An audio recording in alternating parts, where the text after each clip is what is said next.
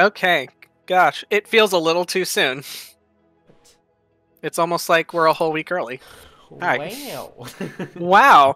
I know. It's like I have there's a schedule. So we're playing a week early because I've got scheduling things that I need to do next week. So, hi, welcome back. In, I'm sh- in the words of words that Hawk has definitely said to somebody, it's better a week early than a week late. You're welcome. Hawk, there's a whole child present in this room. You can't say that. He can, and he And you- would. You can't He he will, and then he'll say, "Go ask your father." Yeah.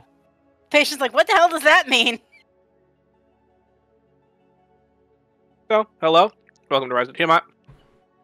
And um, yeah, this because I had I had a whole week of prep. I'm just like flying by the seat of my pants today. So, welcome to of This is a fifth edition module that is uh, run out of the Tyranny of Dragons campaign, published by Wizards of the Coast.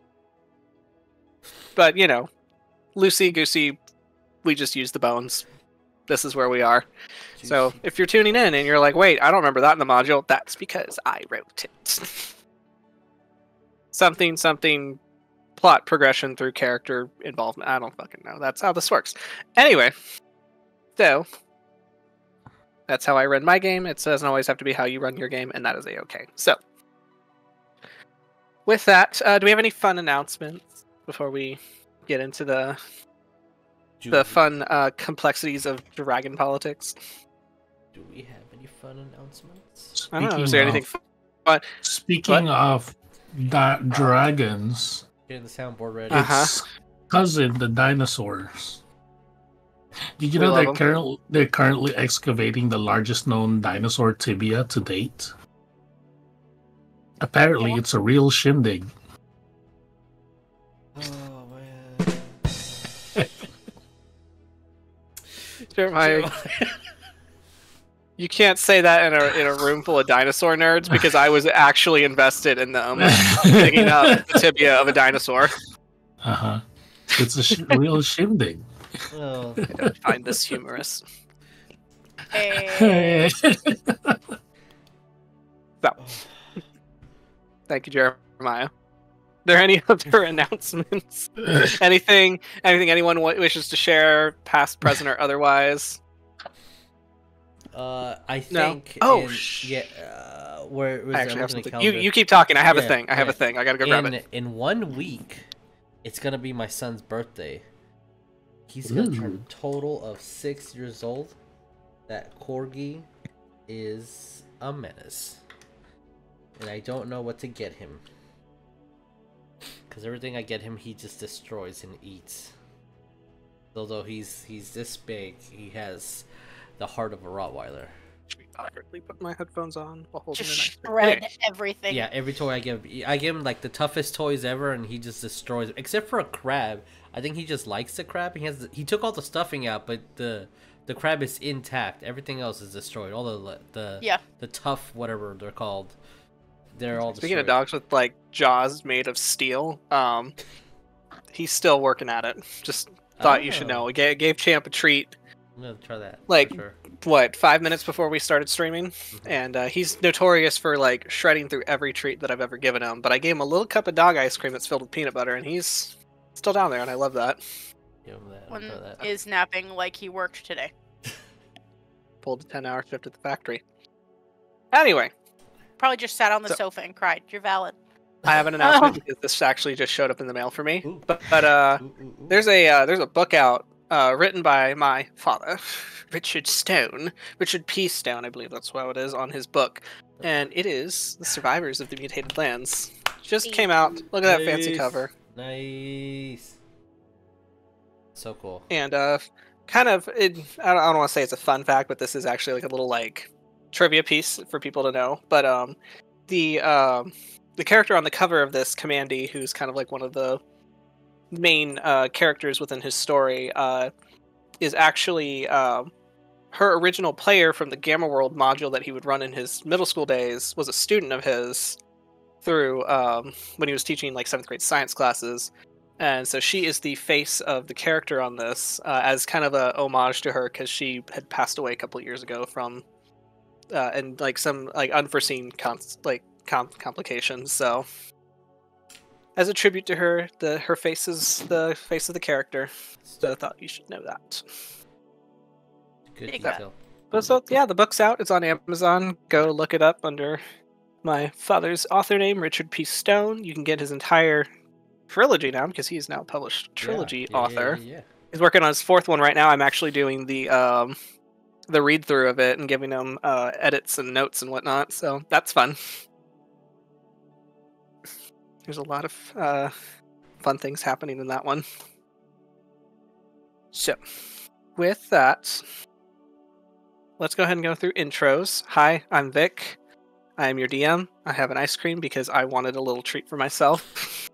Seven. And who doesn't love a drumstick? And uh, sharing the same plane of existence. Oh, you're done with it already. Okay, I shouldn't have said anything. I also have lots of drumsticks. That's actually true. So that's where someone really should have played the the rim shot noise. So, too late. Minimize. Too late. We missed it. We missed the window. Anyway, sharing the same plane of existence as me. Hey, Tabby, who are you playing?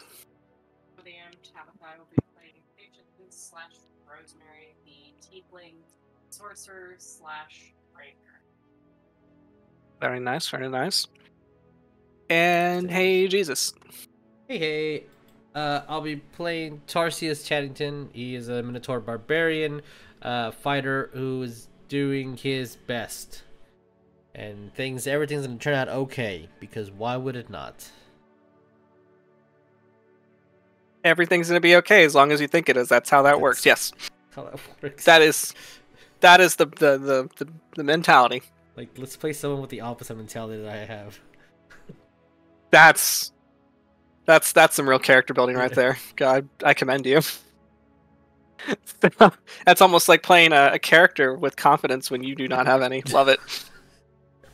Oh, that's that's a struggle. Yep. Hey, Jeremiah, who are you playing?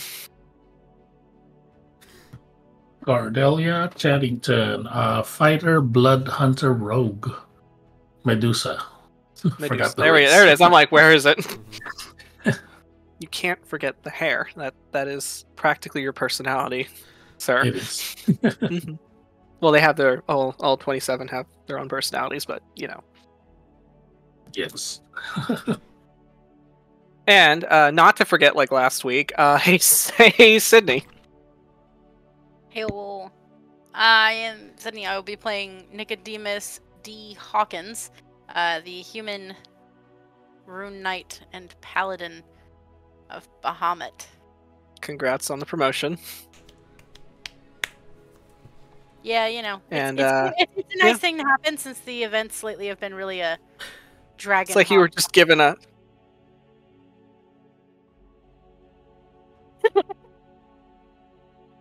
no. You know, I had a I had a bit where I was going to give Lynn a hard time for not being here, but you know what? Is I'm that really need to- dragging you down? I'm going to need you to clock Oh, out. So. Anyway, I have characters that got jokes. Hawk Yep. is a joke. Jokes. got Don't 'em. say that to him. If you actually say that to his face, he will cry. He will And cry. you know that.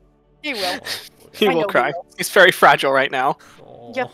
Speaking of fragility, so our uh, our resident cleric Larkspur uh, is going to continue his. Uh, apparently, he's on his Odin's journey of his dreamless sleep, so he's just going to be doing that for a while. You know, learning the knowledges of the universe. Uh, due to uh, Lynn uh, currently having some scheduling with her work, she's putting in a lot of hours at the Keebler Elf Factory, so we wish her well on that. Mm. Oh, she's gonna love that. Alright. I don't I don't know if she's either gonna like cry when she sees me when I move up there or if she's gonna just assault me with a bat. She's We'll gonna find be out. like, Yeah. Mm, that was good. Okay. Why not? So Why not both? why not both? Alright, let's go ahead and roll that beam footage. All right.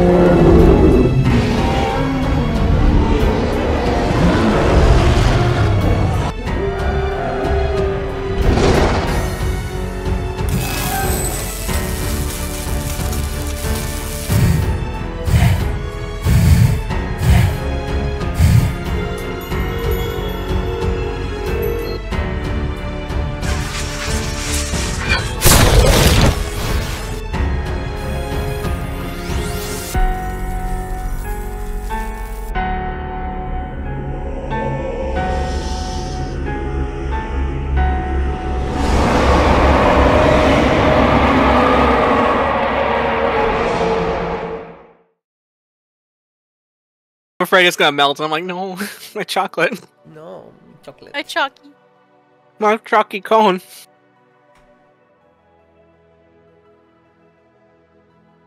Anywho. Oh, are we back? Crazy. Yeah, yeah. Yep. Not me, just enjoying a little treat. So, Everybody should enjoy Let's their do recap. treat. oh shit, I don't even have my notes up. That's great. That's fun. This is how present we are. Oh wait, I did have my notes up. I it was my first fucking tab. Cool.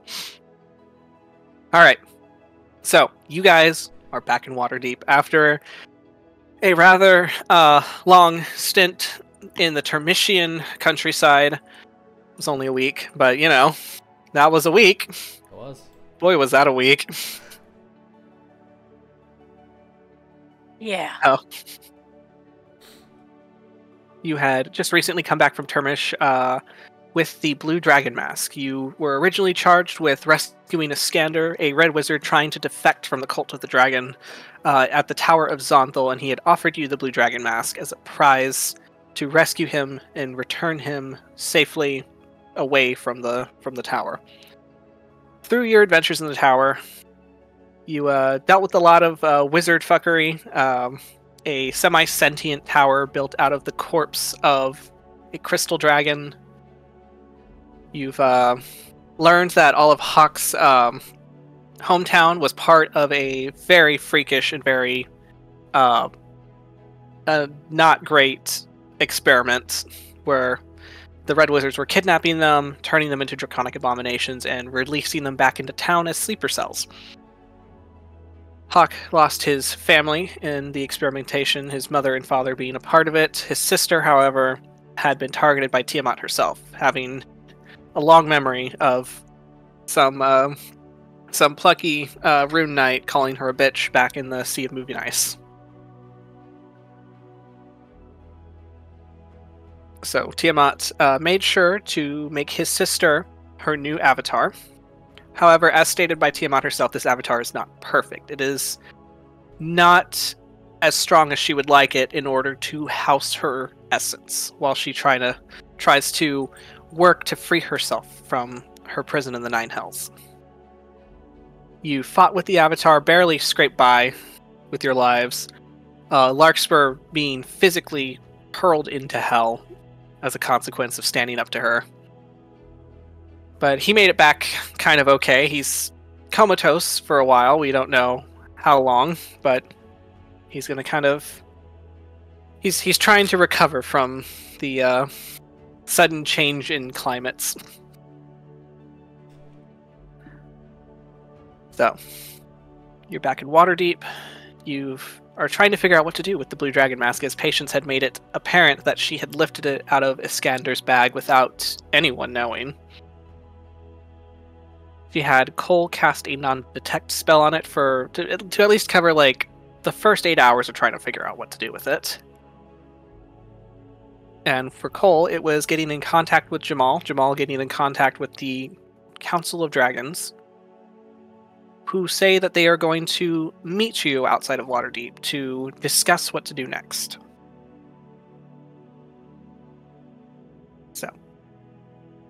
With that, you kind of went about your day, kind of preparing what's little that you can for what you knew. You visited Jakey's junk stop, picked up a few fun items. Yeah, I believe me, I forgot to get back on everything about it. It happens. but we'll we'll circle back to that whenever. You uh, found out that there was an emergency council meeting called uh, at Castle Waterdeep by the uh, you know Council of Waterdeep, Council of Nobles. And when you made your way over there, uh, Perseus and Cordelia were met with their adopted parents, uh, the Chaddingtons, having just just fresh off the boat from their trip from Neverwinter. Chaddington is a little, a little, he's a little out of sorts. He hasn't gotten the chance to refresh himself from the journey, and uh, you know the jet lag. What can I say? Had us in first class of the Emirates, like Such was a hard It was a slog, let me tell you. You met uh, the council. You kind of recounted uh, more or less what happened, and listen to them as they are more or less preparing for the inevitable that the cult is amassing. The cult knows that they are on the cusp of victory.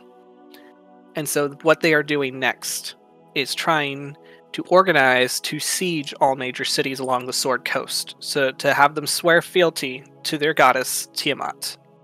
Otherwise, they would fall. So the council is working hard to figure out measures to protect Waterdeep in the inevitable of a siege taking place in their major city, which there hasn't really been a siege historically in quite some time. This this is a well fortified city along the coast specifically against dragons. So it's a matter of just figuring out the specifics of that. And so, with that, the council adjourns. You still have the rest of your day. It is, I'll say it's it's about early afternoon. Still haven't heard from Jamal or the council. What would everyone like to do? Let me get. So you guys are currently standing outside the castle. We'll start standing outside the council room, I will say, as they have more or less dismissed you to talk about more private matters of the city. This is the wrong map. I see what I did. One minute. Uh, eh. There you go. I guess I'll just first um, catch up some more with with the parents, Okay. and uh, I also asked them was like, I know you just got here, but have you have you been to Uncle Wes's place? as uh first Chaddington just be like oh West his new establishment is here. Oh it must be so quaint. I have to go see it. It's been far too long. I've tried to write him but he hasn't responded to my letters and truthfully I'm a little hurt. Oh, like he he he he really can't read that well, father.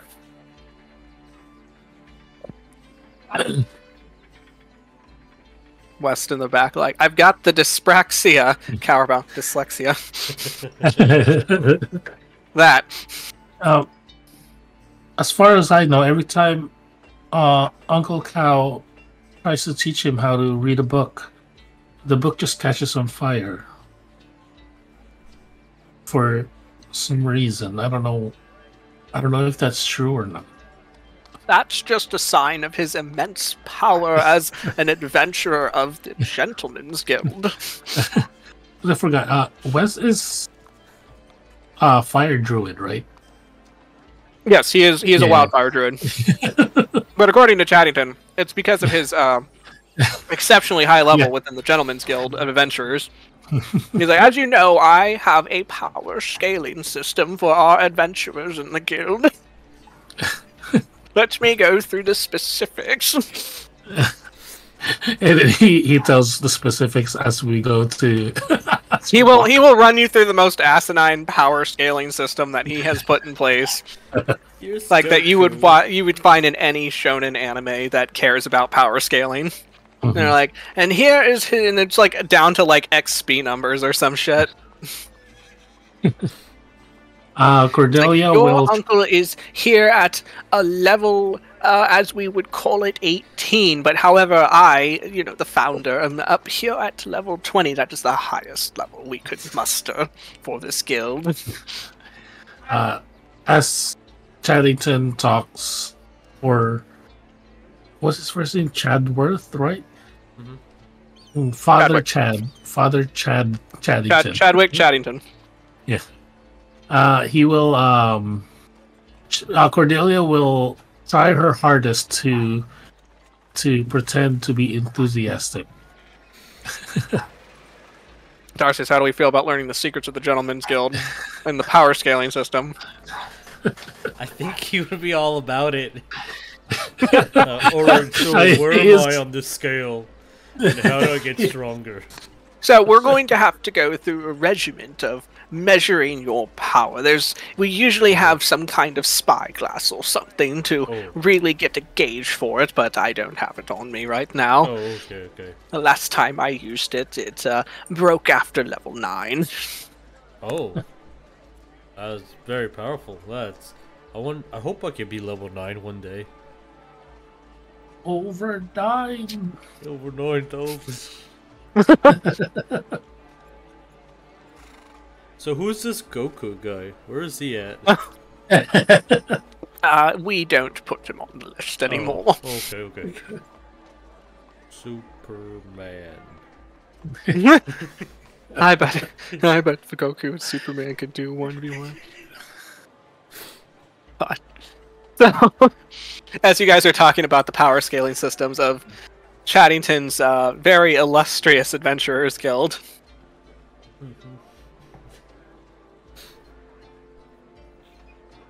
you know, so, and I'll say Samantha sounds very, you know, excited, more or less, to uh, in in her own way, to see West's new tavern. And is that where we're heading right now? We're heading to the tavern.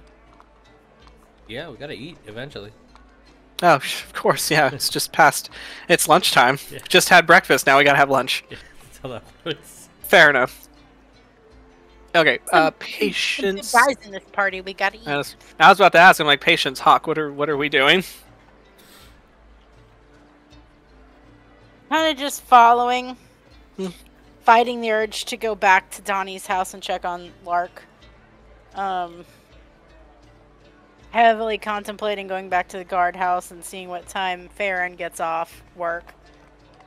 I had to add on the last word. Um, Uh, Can, are you are you hiding your uh like your face or something like that, or like, or does it seem like you're angsty or you want to leave or something like that? How forlorn, how forlorn are we, Hawk? uh, But you feel uh feel like you need to follow, kind of like that sort of deal. probably that like you can tell that he's kind of not totally feeling himself like obviously when y'all met him he was kind of like a little arrogant and kind of like big-headed and, and doing whatever he thought and thought he was the hottest shit ever and right now it's very obvious that he doesn't really feel that way but he seems to be trying to seem that way and it's probably not working Okay. but he's also kind of not in a place where he's sure what he wants to do. Mhm. And so he's kind of just going with the flow because he has to do something otherwise it'll be demon time and Oh, not demon he doesn't time. need that right now. Okay. Unless it's like demon time is just what they call it when I get zoomies. I would like to zoom. Imagine a barbarian subclass where it's not rage, it's just zoomies. I would like to I zoom. love That's that. monk. I love that. That's so great. monk monks Oh zoom. my god. a more speed-based bar- barbarian class. Oh shit. Totem that would be something. Zoom. Totem of the Sioux. Totem of Roadrunner. Meep beep.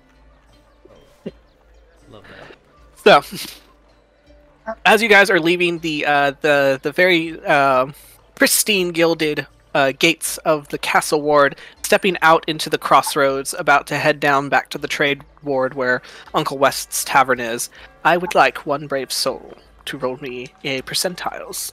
I do it. I do it. I do it. I said brave, not enthusiastic. Potted plant. Potted. That's trauma-inducing in another game. Yep. Yeah, we're not talking plants. Fun fact. Fun fact in another D and D campaign tabs playing, and uh, her character fought a corpse flower and lost, and her leg got infected, and we had to amputate her leg because it was going to turn her. weak. She she chose to amputate her leg, and otherwise she was going to turn into a plant zombie.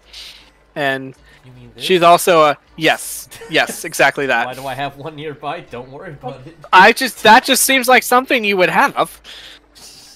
And now she's afraid of plants. Or And now she's traumatized to plants. go to chaos. Aw. Yeah. 48. Okay. And so now, like, anytime we, 'cause she's also a sorcerer, so anytime we chant potted plant, it's more like a threat. I'll do it Sorry, I was dehydrated. Um, hide weight or died weight. or die straight. Anyway, Can't do that either. no, no, right? Guess you gotta hydrate. So, all right. In that case, I will have everyone roll me uh, perception. As we are out on the streets down the main tradeway of the road. Actually, let me. You know, I should probably have my character. I actually have a better Probably. Picture to work off of. Bam! Look at that. Love that. Ooh, Perception. the 17 for me. Wow, I have a nine. Dirty 20. Uh, what is my plus 2017, 9. Plus four is. I'm bad at math. 17. Sitting there staring at my dice, willing Wow. to just add itself.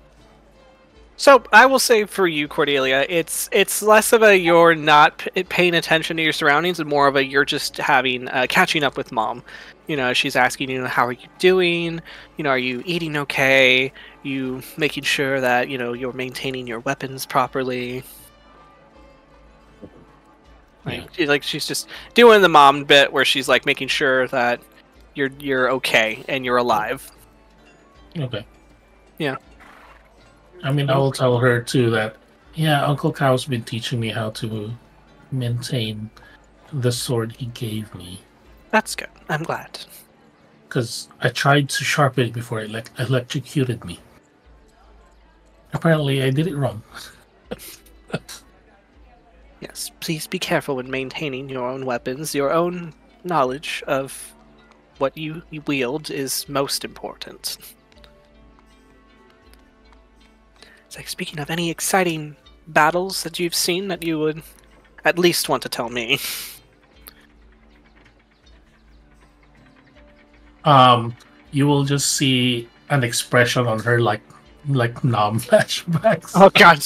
and, you know, like, and like, even the snakes are just kind of like oh then and then uh she remembers the the curse like her petrifications like kind of came back and then she was just like uh, nothing too special of course, and she'll she'll kind of like give you that knowing mom look, and she's like, "Wouldn't want to excite your father too much."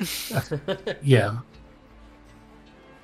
yeah she would want to he'll probably want to spar again and Oh, and and- he's going. He's going to hit the mannequin too hard. The mannequin, it'll bounce off the mannequin. It'll hit him in the nose. He sees his own blood, and then it's a whole thing. Samantha, I'm wounded. I've abstained mortal injury. As that that is a flashback that Tarsius and Cordelia have in the back of their head, uh, trying to watch their father train with like, you know, like like a practice like sword made out of like, you know, wood, and it just smacks him in the face. And It's a good enchantment you put on there, Dad. Fight Yeah. right back. And you're just like, yeah, he he really he really like showed that man. He got it. He put on such a brave face as he's like trying not to cry through the tears and a broken tooth. So, as you guys are walking, I will say. So, Cordelia, you are engaged in that conversation with your mother.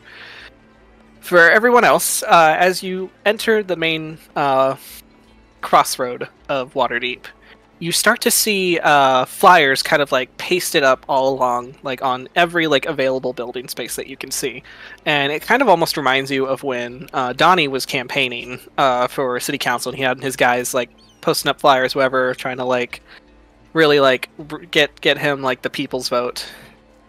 And um, but as you look at the the flyers, you notice that it all bears a similar sigil, and it's a sigil that you have seen emblazoned on every like armor, cloak, what have you that you've seen of the cult of the dragon. And it is they're they're all flyers basically stating that um, Tiamat is coming. Swear your fealty, swear your allegiance to the Dragon Queen, and be spared of her wrath. Give Waterdeep to Tiamat. Like basically, it's like that kind of propaganda. It's like let Waterdeep side with Tiamat, and you will live. Like you need like bask in her glory, like all this good stuff. Like that's more or less what it's saying. It is like covering every surface of every building. Like God, I hate election year. Man. I think it was an election year when I was having Donnie campaign. Sheesh. Whoops. Been a while. It's been a while. rarely. Just look at him. Um, look at it.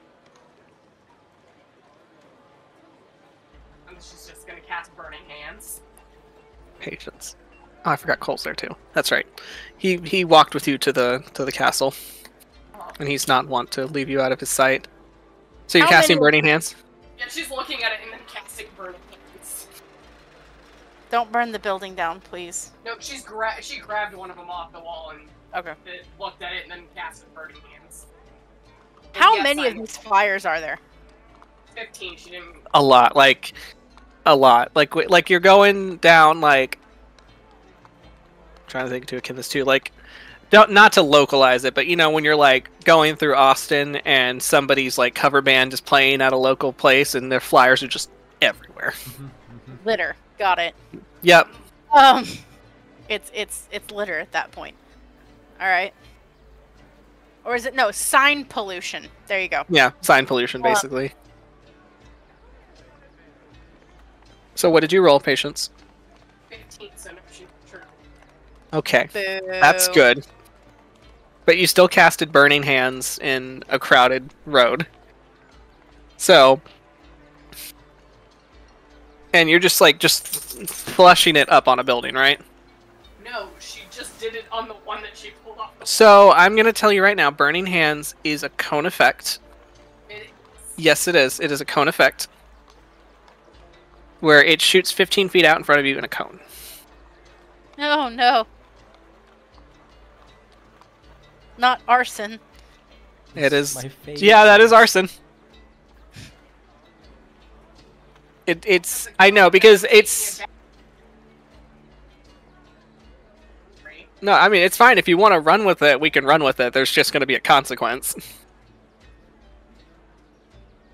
I know the first thing you would think is that it's like shocking grasp, but it's not. You would think with a name like Burning Hands, it would be like that. That's almost like that is a mistake by the publisher that should probably be fixed. But yeah. Right. Misnomers. Mm-hmm. Yeah. Just rip it. Okay, so you're just gonna rip it up. All right, roll to rip paper with your strength. No, it's a sheet of paper. Yeah, you rip it up easily. Higher strength than Cole, so. That's really fucking sad. Oh, like wow, this is a tough piece of paper. it's like I think they lacquered it. Hold on. It's like 8 strength. he's he's smart. Okay, that's book smart, not street smart. Yes, that boy is not smart. So, all right. So you rip it up. One of the thousands of flyers that are just spread through the entire street. And I will say that, that as that is, uh, as you were doing that, you will start to hear the sound of uh, someone uh, kind kind of like projecting their voice above the daily foot traffic.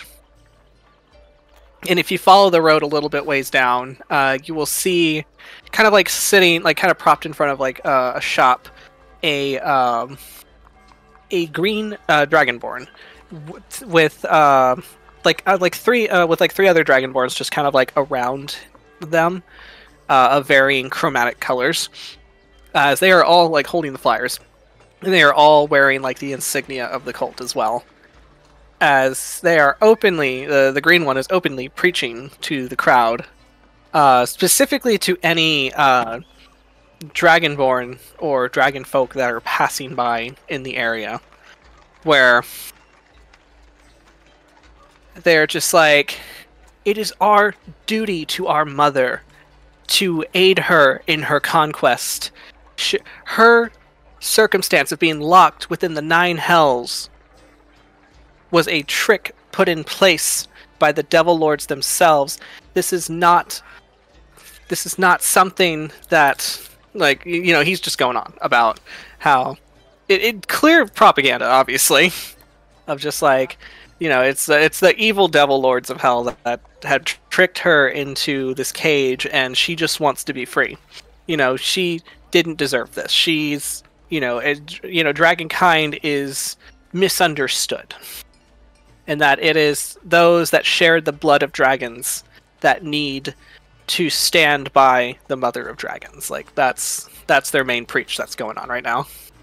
Hawk would kind of look at the party, like hearing that, and be like, as badly as I would love to punch that guy in the face, in the interest of laying low while we figure things out, we should probably not make ourselves known.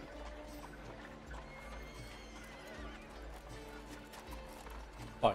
Because i they just don't heard the know where- thunk of a chunky dice on tabitha's table Um, because they don't know where we went, hopefully.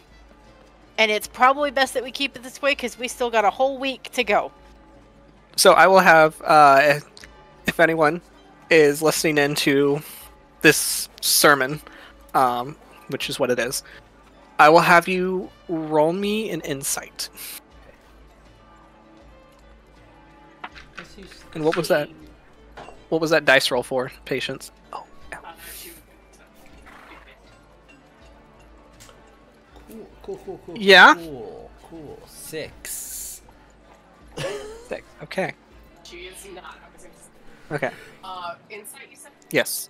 So Tarsius, they're just, you know, they've they got a lot to say. You, you know, you don't quite agree with it. You have their opinions. On insight. Sheesh. That was a whole 10 for Hawk. Oh fuck, our internet took a hiccup. Oh no!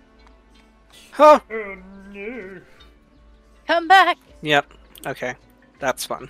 Don't worry, this guy's ears. We are love to see it. Gonna be our DM for the night. Yep. Nope.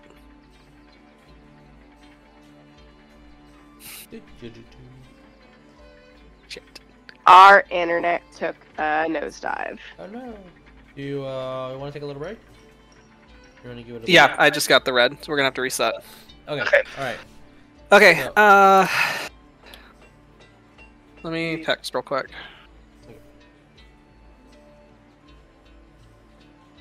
Well, shit. I didn't expect it to be like this. Is it doing this? Experiment everybody. Get off my internet. What is D&D without technical issues? I mean, yeah. It's not because of like fair. Because the internet's not due until what tomorrow or Yeah, internet's not due till tomorrow. okay, so it shouldn't be doing this. Alright, so we are gonna take a quick little break and we'll be back in a minute, everybody. Uh, so have fun with this little intermission. A little break.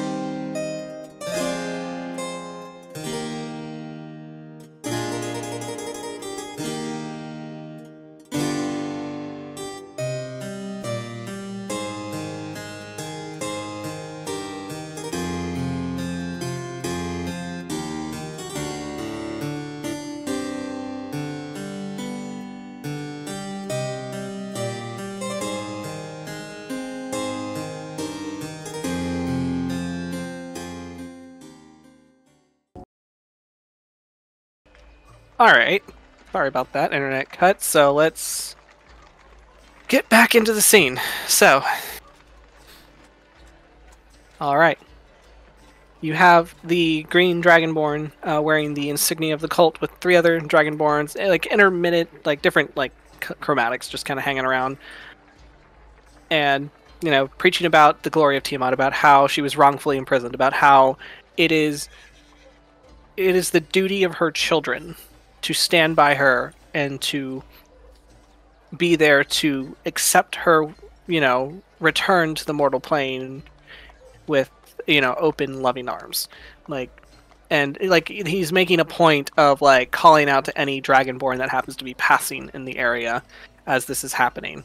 Um and so uh one one said dragonborn you actually will recognize as uh Maloon, but his uh, his witness protection name is Q.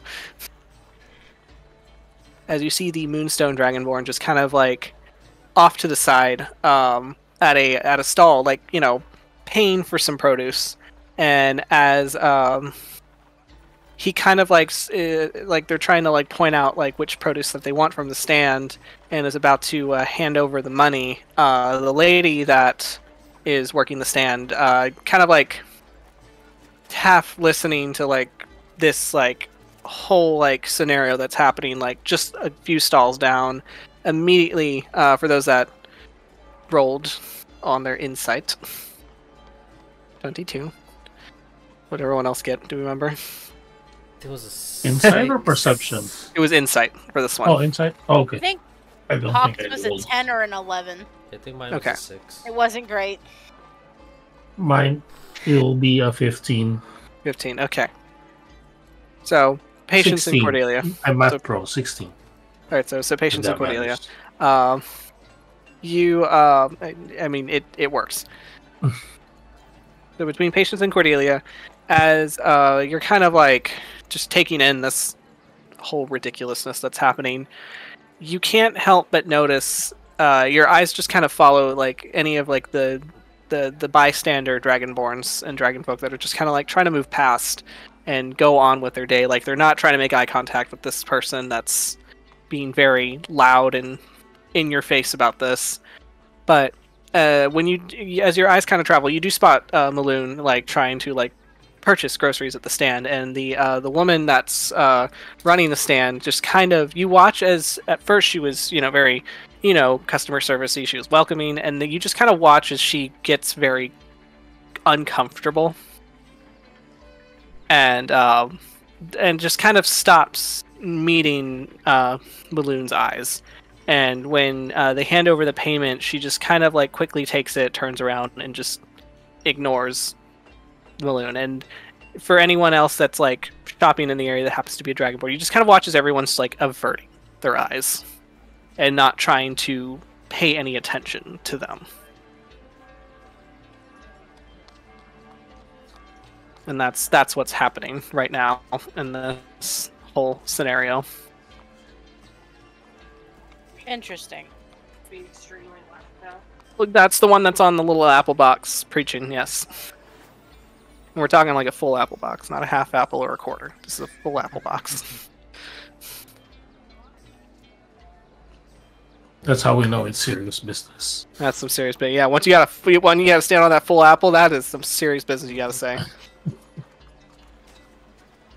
and he's already tall for an individual, as you know, he's a dragonborn. Like he's a little bit more lithe than most, as you would uh, find them, but he's fairly tall. As uh, patience, you feel Cole put his uh, hand on your shoulder just like trying to like corral you away from that as you guys are kind of making your way down the street.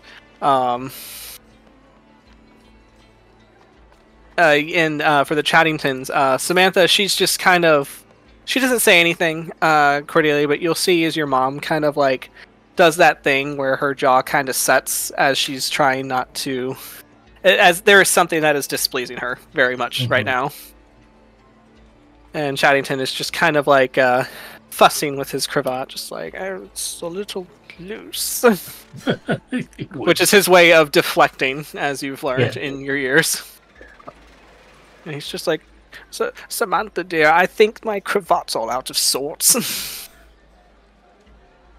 She'll just be like, "We'll fix it later. Just let's keep going.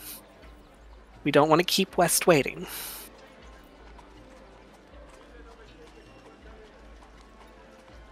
While that is happening, what is what is happening? Are we continuing on, or I'm walking, trying not to make eye contact. Um, I try to tell my snakes to not make eye contact. I don't know what they're doing. uh, roll for snakes? yeah, I mean, oh, they tell me. How do I roll for snakes? uh, let's roll percentiles. Highest is they're going to be very likely to listen to you. all 27? Yeah, Do 20 we'll, we'll roll percentiles. The higher to 100, they'll listen. The lower, they will not. that is 65. All right, so they're gonna kind of like you. They they already were like kind of like watching, but then you say, "Hey, mind your business," and they'll just kind of swerve back into your hood. Uh, and I'll tighten my hood a little bit more to not be kind of singled out because Yeah, who sees somebody with a full head of snakes? you know? and and you and you do that. You tighten like you kind of like secure your hood, make sure it's in place, and as you do that, um, you'll feel uh, Samantha kind of like gently touch the back of your head, like as a, a form of reassurance. So Okay. you walk your way through, not paying much attention unless Look at me stop and turn and look at me. what's going on, patience. Kind of stopped to stare. and Cole, having his hand on your shoulder, is trying to like push you along. Just be like, as i he's trying to be as discreet as possible. Just like Rosemary, it's rude to stare. Uh-huh. Rosemary, do I see that? Do we yeah, notice? obviously. Uh, You Okay. you would have noticed that as you guys are walking, um, Patience would have stopped to stare at the at the whole issue that's going on, and as you guys are walking, Cordia, you get that little like tingle in the back of your head where you're just like, it's quiet. Where's Patience? Hawk too Uh, as well. Will, yeah, Just like, I will look back, Where is she? and then I see that like Patience stopped and staring. I'm gonna look. At, I'm gonna nudge Darcius, just like, and then I'm gonna signal him to uh ride, and then I point to patience, so patience will continue walking. As you're watching Cole doing his in a way. damnedest, Cole doing his damnedest to gentle parent this very chaotic child. I'll do Like, hand he gets that- signals so that I don't speak out I loud, have basically. one question. Like Cole, Cole has like both of his hands on your shoulders. He's like down on one knee at your level, and he's just like, "Rosemary, we need to keep moving now, please."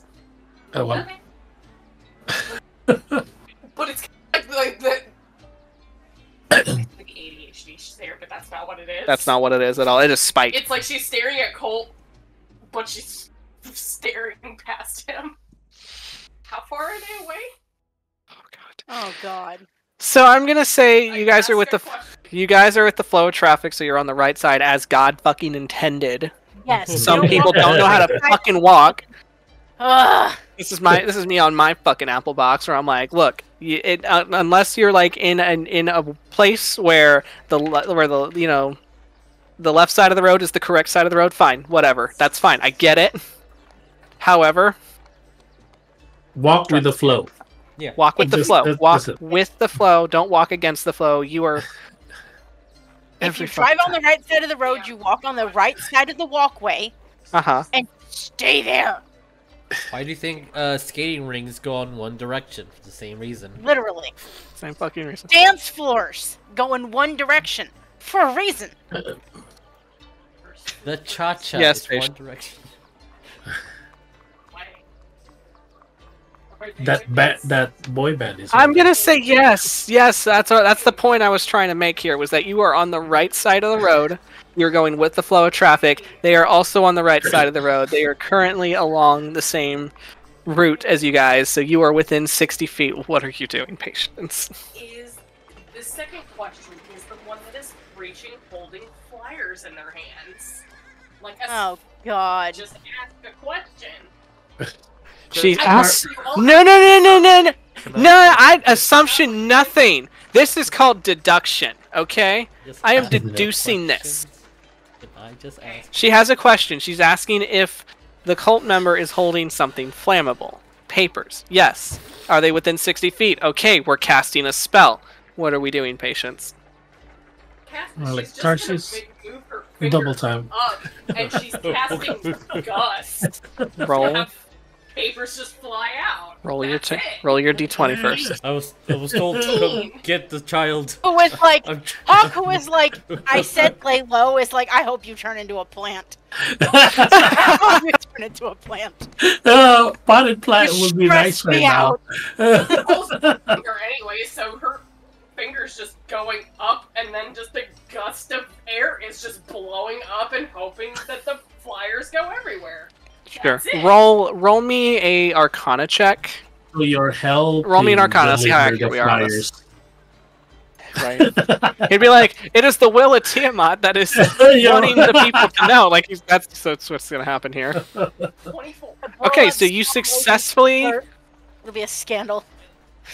So you successfully blow the flyers out of this dragonborn's hand. Like he gets startled, and it's like a sudden like wind just like rips through the the street, and everyone kind of like bundles themselves a little like closer because it is you know it's getting to the dead of winter, and they are it's cold, and so you hit them with an icy wind as the flyers just scatter up into the air, and that is exactly what happens where the dragonborn says that uh, it's like, look, even nature itself knows that change is apparent. It wants you to know that she is coming. Like so that there you go.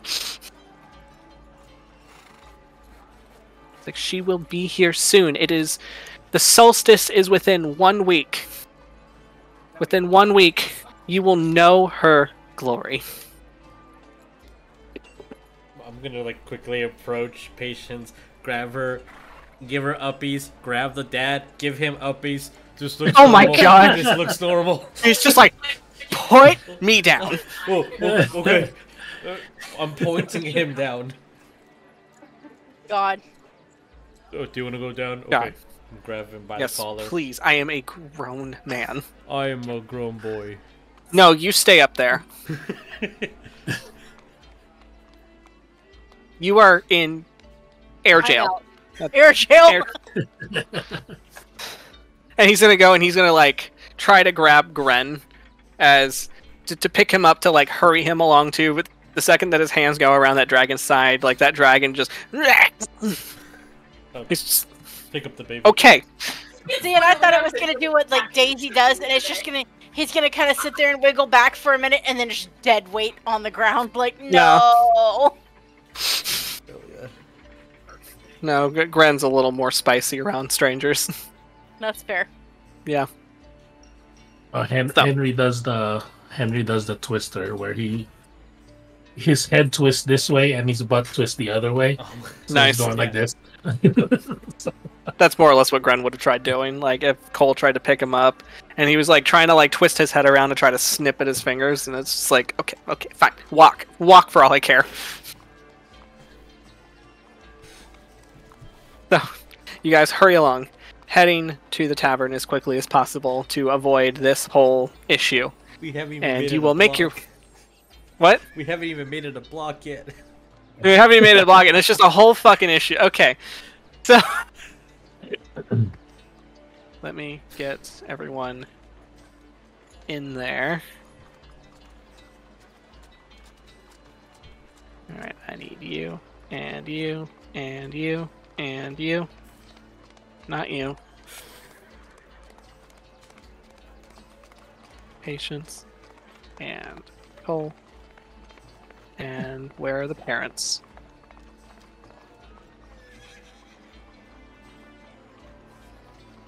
So one, two, and copy.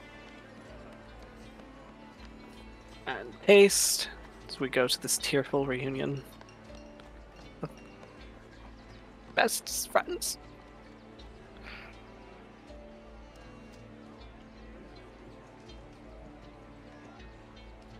Okay. Ship. We make our way into the burning boar. Hurriedly so.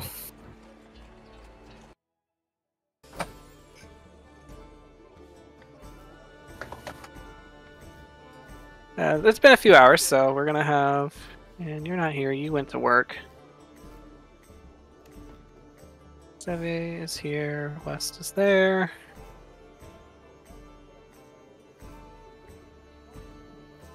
Trixie is hanging out by the door as the door greeter. Pep, pep, pep. Yep. Does he have a top top hat to as a and a monocle and gloves? Next to the next to the coat rack, and it's just like, "Oh, just leave your coat with the pig." So you guys walk into the tavern, and it's just kind of like a breath of, "We survived that," with as little incident as possible, which is quite a feat for all of you. So good job. Could have been worse. Pat yourselves on the back. Okay. So, oh, let me get one person here.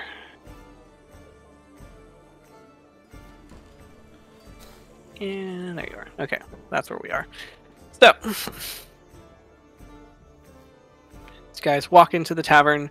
Uh, West is behind the counter, uh, kind of showing uh, Xavier how to make a specific drink, and Xavier is there with his little notebook taking notes. As uh, you will see, uh, Gala Tadaric just kind of like sitting at uh, the bar, kind of swirling a glass of wine herself. Just very poised picture of perfection. Care has gone to work, as you can see by his absence. And as you guys walk into the threshold of the tavern, uh, Cordelia and Tarsius, you see as your father immediately starts to like get the sniffles, and then he tears up, and he's just like, "Ah, where's my dear friend?" Oh, awesome. and he goes running and it's like almost like a slow-mo scene where he's just like running towards but i think he's just running that slow honestly he's just trying it looks Doing like the- he's running The beach montage Bo Derek run. yeah but that's just him actually running For dramatic effect. yeah of course for dramatic effect he just like flips his hair to the side there's like sparkles of tears He's just like West, and he runs around, and West sees him, and is just like, "Oh shit! Oh fuck!" and like drops everything, and then he picks up Chaddington and like this big old hug, and you feel like several, ver- you hear several vertebrae just like crack on his back, and he's like, "Ah!" As these two men embrace, and just to, just to solidify their beautiful friendship that they have forged over the years Yeah. as he puts Chaddington down, and Chaddington looks like he's trying not to fall over, but he's, he's being a real champ about it. As Samantha just kind of like gathers her skirts, goes to find a, a table to sit at, and just kind of sits down, just like we'll we'll, we'll be here a while. As that's all going on, what's everybody what's everybody doing? Take a seat. Wait for the food. Yeah, wait for the food. Yeah, okay. So, as West is just like, all right, what does everybody want? What's going on? What did we miss? I would ask Cole why he looks stressed, but that's just his face. Talk like that's just his child. Oh, down on this beer rug over here. As Gren waddles over This is and does the same this with is you. mommy, right? Yes, that is mommy. Me, Mommy. Mommy, there you go. She'll pat the, je- she'll pat the bench next to you. yes, that. Yes, perfect. So, as food is brought out for whatever it is that you ordered for lunch, drinks are distributed.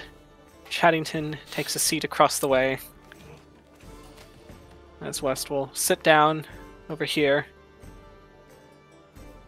And it's like, Tarsis, get your stool over here. This is a family meeting. Okay, come in. I'm just adjusting the cameras. Uh, uh, uh, Scoots. Yeah. There's a. He says that Uncle Wes. I think there's. I read about this in school. There's an insurrection happening outside. Oh god.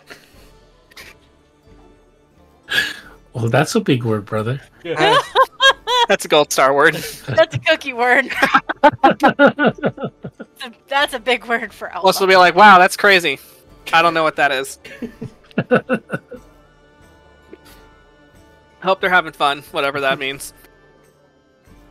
Samantha just very patiently explains to him what an insurrection, and he's like, "Oh, that's bad." uh, well, that sucks. So, I mean, um, it's fine. I, we've been through several insur sections. Intersections. Yeah. Close enough. Like, yeah, it's fine. Uh, yeah, it'll be fine. Probably. Yeah, it, it, some uh, Cal was telling me about how there's like flyers all around about the end of the world, and I'm like, "Ah, end of the world happens at least like once a year. It's true. like, like, what's there to worry about? And then he mentioned that it has to do with like a giant five-headed dragon, and I'm like, so, just more heads to chop off. Mhm. Duh. That's how I feel. You're fine. Like I, that makes a lot more sense to me. Like you got a big dragon with five heads. All right, I guess I'm swinging an axe at it until all the heads are gone. But then, like when it gets down into like the real like weird culty stuff, like like look, I don't even remember half of what happened down in that temple of Lamashtu. I just it was all a blur, and you just kind of hear the uh, you, you kind of like Cowerbow appears for like a brief moment. And he's just like, because you weren't there for us, and then he just disappears again. Swest is just like, oh yeah, banishment spell. I had to spend time with Grandma. That wasn't that wasn't fun. Anyway, so, but it'll be fine. It'll be great. I'm. I, you guys seem pretty confident in it. Is Cole is like at the bar, like with his drink of choice, and he's just listening to to West and just there. There's like just a slight tremor in his hand as he's listening. As he Like reaches Hawk for is sitting there like draining what he's drinking. It's like, well, Cole's just like, sure, yeah, it'll be great, it'll be fine. Obviously, I wish I could live in his world. Hawk like, yep. Yeah, so, um, and Cole's like, so, I wasn't, uh, I, I kind of stood outside for the council meeting, so how did it go? I guess. What is, uh. I know we have to wait for the Dragon Council, but what is. What is the general plan here? It sounds like they're gonna try to fortify the city just in case. That makes a lot of sense. They should probably do that. Um, Um, Scala's just kind of swirling her glass of wine. It's just like, I mean, they could certainly try. Haku is like really not in interested. Like Gala, oh, it's it's nice to see you. Of course, likewise. At I'm sorry, did I scare you and, th- and you thought I was my brother? No, it's it's it's welcome. It's nice to see you. At least at least one of the Tatterics likes It's me. perfectly fine. We're twins in every regard. But he would I say mean- he's the prettier one. If if in every regard you should probably hate me too. Um, I mean, in what way have you slighted me? technically I didn't slight Grayson, but I cracked an inappropriate joke at his husband, and that was not forgiven. That was your mistake. I didn't know, in my defense. Um, had I known, I never would have said anything. But I mean, if you look between Grayson and his children, it was kind of a easy, you know, math problem to solve. I am bad at math. Oh, It's okay. And she Uh, kind of like cups your cheek and gives it a little pat. She's like, "At least you're pretty." thanks. Hawk for a second they're like, I mean I am, but thanks. Um, Like, By this point, um, a uh, certain uh, cleric of Bahamut is going to make her way into the tavern Oh. and take a seat next to her, bet- not her, her, her beau, her beloved. They kind of share a quick little kiss. And she'll kind of like regard you and just say, Congratulations for your. Uh, it feels a little pious to call it an ascension, but congratulations for your. Uh, you know, it's not every day that the Platinum One reaches out, especially for a knight in his service. that's fair. Must I have. feel uh, like he's saved my ass a couple of times now. So Seems like he's taken a liking to you. I don't know why. I mean, unless it's for the same reason that his sister hates me. Well, I would probably say that, uh. And never tell this to a dragon, but. I think he, uh, sees a little of himself in you. It, it's. a little ironic that. You know, a more or less god of dragons is the more human out of most of them.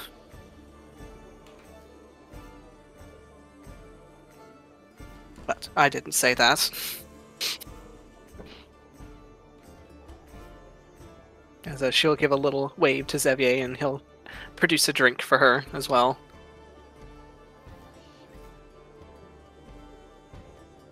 As she kind of takes a takes a drink, sighs, and just kind of like it, and it feels like she's just kind of like easing off some weight that's been on her shoulder. It's like so. Uh, looks like we are fortifying a city for a potential siege of some kind. I don't know where they got their information on that, but Hawk, Hawk is gonna look at, at her and, and just smile and be like, "Well, hi, hi. it's me. I'm the problem." Um, Just love the honesty. Hawk, like, we retrieved the package. So if we get Ah. scribed on, no one is, no one is the wiser what package. We retrieved the package. We just, how do you destroy? But Oh. we didn't know if we could be tracked here. She'll kind of she'll kind of give a laugh. Oh well, you don't. That's what I thought. Uh, See, this particular package, and she will kind of like drum her nails on the on the countertop. This particular package is uh, one that was um, crafted, I will say, by uh, the uh, suspect of interest of this whole situation.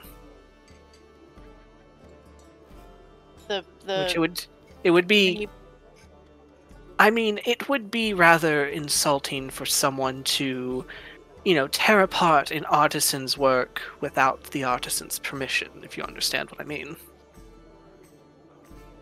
yeah, yeah. Because the artisan's very essence, the very soul, I would say, if they were to have one, is more or less what makes the piece itself. So Do you follow? we have to just destroy the many breathed bitch queen herself. Well, now you're just not being subtle. Why I'm in this entire predicament in the first place, honestly. He's gonna look at Xavier and be like, Can I have another drink? Um, Um, should you? Should you? Les is like, Xavier, we don't ask that of people. Um, you just say yes and you give them the drink. He's And he's just like, I'm not- I thought le- legally we're not supposed to give more than four drinks per cuss. And it's just like, I don't fuck. look. I can't. I can't count very high, but I could only count one drink, so he's fine. On my count, Half just like- one. Hog like breakfast drinks don't count because I left and came back. Um, Exactly. See, exactly that. it's on a different bill. So Um, like, I mean, okay. I mean, it's not my establishment, but all right, sure. But if it was, What if it was your cut off? Um, yeah. Hawk would be like, I mean, that's what got me into this. one. singing the bug song. Oh my god. what? Um, So She's singing a little a little bug song. That's what Patience Uh, is doing right now. But yes, we uh, yeah, he'll be like, this is what got me into this whole thing in the first place. And we're the people here right now, and I think we're all kind of aware of the straits we're in. So, what do we do? If you can't, if if if she is the only one who can unmake this. What do we do, Steven? Well, um, seeing as how once upon a time, as John was speaking, once upon a time, uh, we and she will gesture between her and uh, Gala. We were the ones that were hunting for the masks. Mhm. Um, on the opposite side of the field, I will say, from where you currently stand. What people would do is simply hide them for as far as they could, as deep as they could in any cavern in the Underdark, in any mountain region, any depths of the ocean. They would hide them along the, you know, many corners of the world in hopes that nobody would ever look for them. But it just so happens that my brother uh, was given the vision to look for them by said artisan herself. He made a not a pact, but he pledged himself to her cause. Mm. And um I don't quite know how this happened. I don't really care to hear the story of it. But he pledged himself to her. She gave him the vision of the masks, and here we are.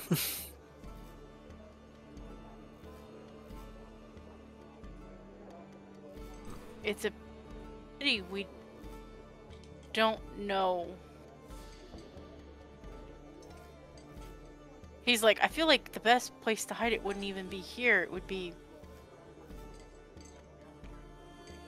on like a different plane.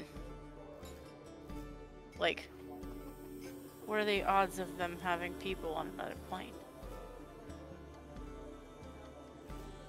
Not very likely, but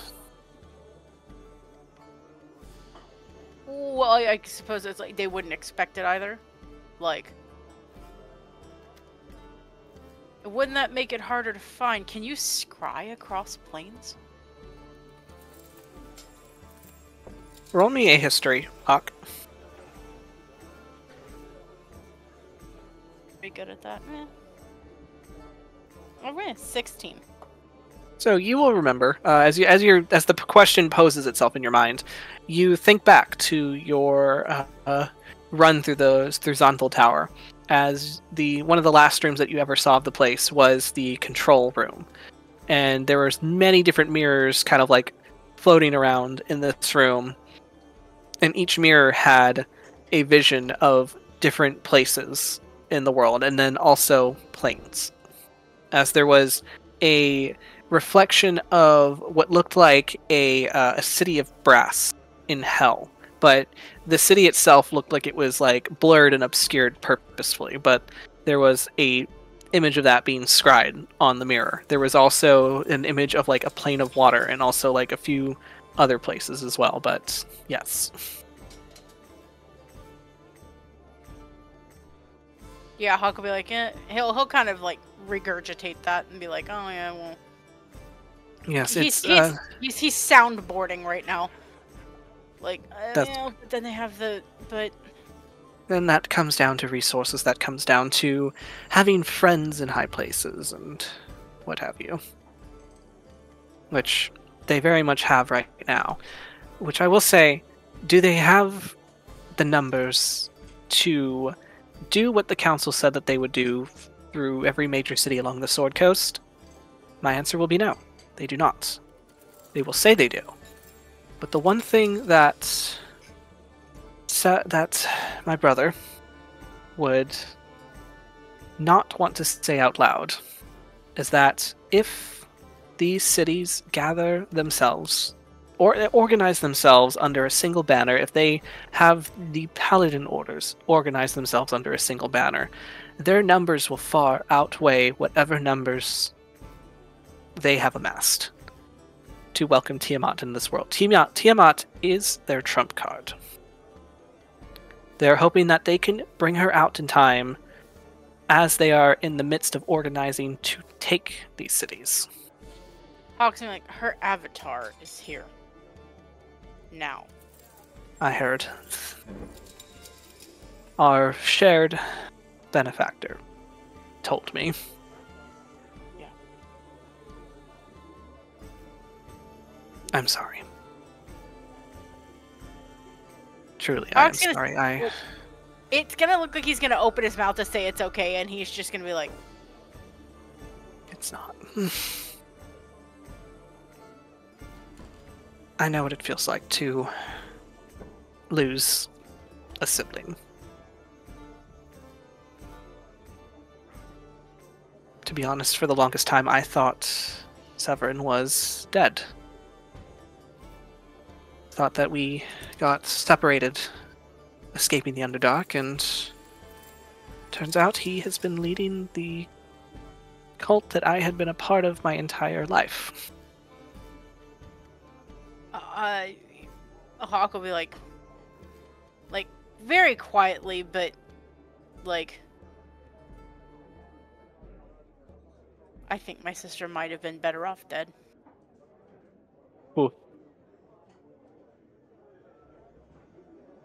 Gala He's- between both of you. Just And like he sit there like looking in his glass, and he like half like not meaningful, half laughs at it, and uh. He's just gonna take a, a, a long sip off of his drink and be like, I guess it can't be that easy, can it? Gallo kind of stuck between both of you, uh, lamenting about uh, about your siblings. Uh, cute. I know what happened. Tell him to go Nini. No. Well, you're muted. He'd already closed the door.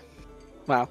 Fine, I guess. So while you two, the while between uh, Janva and Hawk, as you two are lamenting about your sibling woes, Gala just kind of like leans back in her stool, kind of like, kind of like tips back the last of her wine, and she's just like, "Ah, siblings.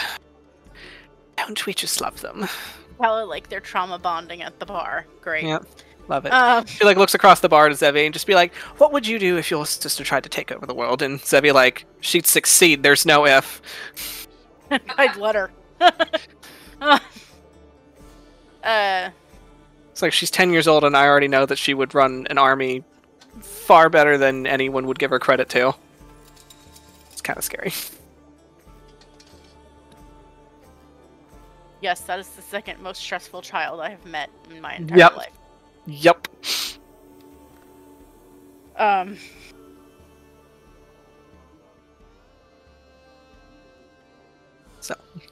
Well, so this- we need to find a hiding place for a relic. Jungle will just kind of snap back from there. It's like, yes, that would be ideal. Dragons hate going. Well, that depends on What the opinion we- of the dragon. Hawk like, what if we give the mask to a giant? Well, now you're just talking crazy. I mean, I get to play both sides now, right? I am a paladin of Bahamut, Look at but that. But I am a Isn't rune that- knight. Isn't that funny? I've brought balance to the force. you did. You really did. You're playing Uh, Grey Order right now, and I love it. And he's like, they have an ongoing feud and. I mean, does that give the giants some kind of leverage? I mean, I guess it depends on the giant and who they would use it, but Jungle will just kind of like delicately like reach her hand across to you. Uh, just kind of put it on your knee, just like. I think that is a question for the council. It's something that you might not want to uh, leave them out of the loop on. that's there. I guess I'm. They have quite a long memory. You, you not know what? not that's doubting that giants don't as well. I'm very sure they do, but Yeah. dragons are known to hold grudges for generations. a hoard treasure and grudges. Look at that. hmm Um.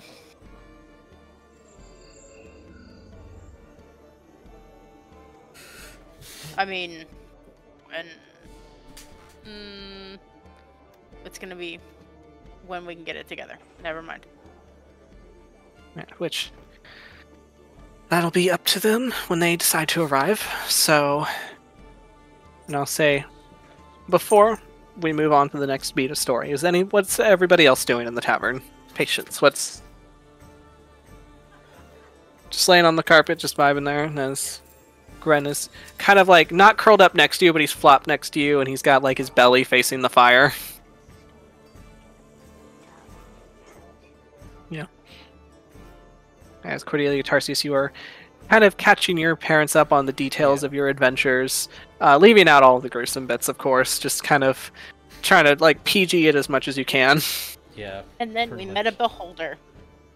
And there was this one dragon, and then there was another dragon, and then there was Beholder, and then there was another dragon. There was a dead dragon. And the beholder was there too. Yeah. Oh my god. The Kraken. oh, not the kraken. Then there was a fish. The guy had a, like a weird face and got turned into a fish. It was weird. Ah. How did he turn into a fish? What happened? Magic. I don't know. I don't understand it, but I'm learning. Oh wait, are we talking about the what? Sorry about the fish. I was like, hmm Yeah. It was poly. It was the Mhm. polygram spell. Oh, I know it quite Oh, well. And. Cole just at the at the at the at the bar, like you don't hear him, but Hawk will as he's right next to him. is you just you hear him under his breath, just just polymorph, polymorph, it's polymorph. You see, it's like it's his knee kind of shaking on the stool. Just Like, butchering uh, all their training, everything they went through. Hawk, like, is that a favorite of yours? that's what kind of like when you see this kind of like fades back into like reality for a second. It's just like, yeah, Dad, did, did you hear Tarsius talk about the beholder? I did, I did very much. Um, Very nice. I'm sure she was. Did y'all find a beholder in Waterdeep that doesn't belong? Wait, wait. So it just kind of like, l- like kind of like quirks a brow. He's like, you haven't heard about the, about the Xanathar's Guild? Is he? That talks gonna be like, y'all met Xanathar? The one with the goldfish? Is- And you're alive? Who's a, what's a Xanathar and why is there a goldfish? So you met a different beholder in Waterdeep. Not in Waterdeep. She was out in the in the woods. I like her cookies. Her name is that Betsy. Aunt Betsy. Yeah, the the late the the nice lady who looked like she just points at Hawk that looked like you. She uh we, she took us to meet her.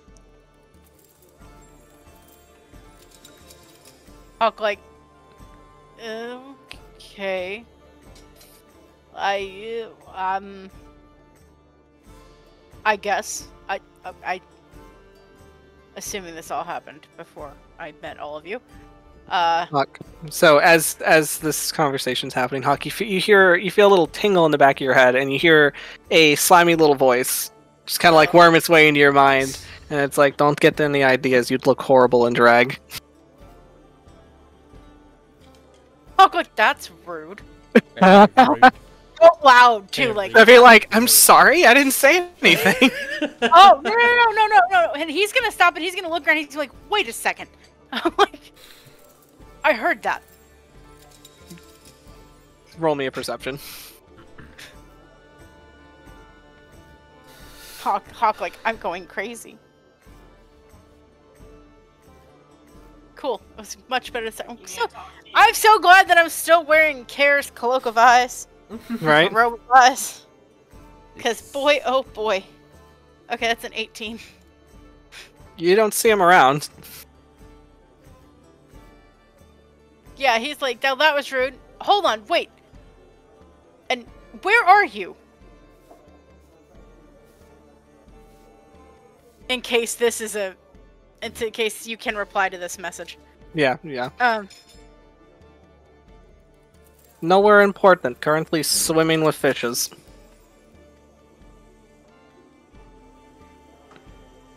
swimming with fishes. Weird. All right. Hawk like so he's anywhere between a barrel of fish and in the ocean. Um, Which your your thought process would be, wait, he can't be in the ocean. There's salt in there. Salt is not good for his uh, skin condition. yeah. And then he's like, but he's also a vampire. The fish. Person- Uh, nah. Uh, Was there any anyway. Part of the conversation that Hawk had that uh, the other table heard? I'm pretty sure. Like, Okay. like it, it's pretty quiet for like the lunch hours. So, which when Chaddington walked in, Wes slapped a close sign on the on the outside of the tavern. He's just like, it's like private dinner or some shit like that. I'm gonna ask uh, Patience if I can borrow some for private party. her colors. What? Oh, you're asking for her colors? Yeah, not the magical ones, like mundane colors. Just the regular, uh, your regular paints, not your not your magic paints. she would- She's also listening to this conversation. She's just scooting up and she's gonna kind of like lay her head like just down, like watching, like on the bear. Bear. on the bear. It's you watch. You're watching as Hawk's kind of having like a mental break of some kind. Or he's just like, "That was rude. Where are you even?" like, Talking to. Did you finally snap? Do you need the sleep? like Hawk, like, I slept on the sofa at Donnie's last night. I'm fine. I have a little crick in my neck, but I'm fine. Um, no. My friend, the one that was hiding under the floorboards in here, is in my brain, talking to me. Tiefling guy? That's Yeah. Yeah, that's smell the weird. He said he was sleeping with fishes right now, and I. swimming, swimming. That is a very important point. How can you hear me? Um, um, he said he's swimming with fishes right now. I'm scrying you through the shine of a fish's eyeball. That's impressive. um, Hawk, like how many? fish. Hawk, like how many fingers am I holding up? Just the one that matters. You got me. Uh, I'm gonna ask everybody to come over here. Alright, I have I have a plan. I have a secret plan. to how to save the world. I just drew it. Oh, look at my boy. He's learning. That's that's the kind of that's the kind of wit that you get from going to the gentleman's school. This is my drawing, as you can see. It, so we put the mask inside a bag, like a magic bag, and nobody can see, and put that magic bag inside a magic chest that nobody can see. And then I know my cousins were in a small dimension. We put that all inside a small dimension, and then that small dimension is in my cousin's dad's castle thing in in uh double E hockey stick. and then no one will ever know. You're explaining this plan. Uh, Zevi kind of like leans around Hawk, just kind of like staring at it, and you also see Cole just kind of like getting increasingly a little bit more stressed. As Cole's just like, "That's not that." mm, mm." I made a couple of atomic bombs in this image. But I'm sure. that is how Taurus is Zevi thinking. just like, Uh, what what could go Um, wrong? So yeah, you'd have to ask my uh you'd have to ask Pops first. Uh he's he I don't think uh there there might be some rules about that. Hmm. Um the the big one being uh well so you know the the the, the Tiamat scenario, right? Mhm, mhm, mhm. She is in hell Oh yeah. and uh kind of what what I mean it's like it's it's it's a great idea. Like don't get me wrong. It's just a uh in for for those with uh with the with the high enough insight you can tell he's trying his best to be enthusiastic about it but you just know he's like he's just fighting every ounce of trying to correct this. He's just like yeah. It's like i don't get me wrong. This is like it's a great that you had this idea um It's great that you thought. It's great that you had a thought. I'm so proud of you. Good job. Um, my only, uh, at least from what I uh, can say about this, is that um, between my uh, dad's castle uh, and uh, the the the lair that Tiamat sits in, there's uh, kind of a bridge that connects it. Um, Okay. and uh, that's why my that's why Pop's is kind of pissed off right now because he has to keep watch on that bridge Okay. because otherwise, you know, He's gonna draw She's a gonna- bridge and then put an X on it. Okay. Back to the drawing board. Okay. It's Cole just like kind of kind of like whispers so that Tarsius can't really hear him, but just to the bar, it's just like, are we are we not going to discuss how putting a a uh, a demiplane inside a demiplane inside a demiplane is literally a means to rip a hole through the fucking fabric of the universe, Hey, at least it would disappear. as will everything else. Hawk, like, well, what if you just put like one, like a bag of solved. Ma- What if you put like one bag of hold, like you put the mask in a bag of holding, you put that bag of holding in one other bag of holding? Is that allowed? Doesn't that So just West, West just kind of West kind of like sits there trying to follow, and then it feels like a synapse just fires up. He's like, "No, that's how you make a sphere of annihilation." And everyone just like looks at him like, "How the fuck do you know that?" Don't ask. Hawk, like, okay, but how can you can can we use that? Uh, you shouldn't actually. Okay. Would it destroy the dragon mask? Uh, it, well, actually, probably. It kind of destroys everything. Oh, well, that's. that's I don't know. I kind of uh left it in a dungeon somewhere. I don't want to talk about it. Hawk, like that sounds like overkill. Next. Um. Yeah, it's kind of one of those things where you don't really know it's there until, you know, well, you you don't know really you don't really know it's there, because Yeah. the second you find it, you're done. Anyway, I can just picture there's an alternate universe somewhere out there in the vast infinite multiverse that is imagination. But there's a campaign that has literally been destroyed, and all that's floating in the aether is just all the indestructible magical items. yeah, There's nothing else. It's just like just magic shit just floating. that'd be a great Astral Sea campaign where you're just like traveling through, and then you're just just like shit just floating in the sea, and you're like, ah, wonder what happened here. Space junk. Yeah. But Make it D and Yeah, D. but, uh, That'd be a great. That'd be a great uh, occupation uh, in Spelljammer. Just like just collecting junk in the astral sea. Yeah. It's a great item shop. Yeah. That's stranger. There's stranger. Yep. He's just. What are you doing in the bag of holding? I'm collecting shit. Gotta make a living. See him put his snorkel back on and go in. Hawk, like, okay, okay, okay, okay. What about a bag of devouring? It cancels out. The one moment where Cowerbow just kind of appears, just like you see him just peek around the corner, Yeah.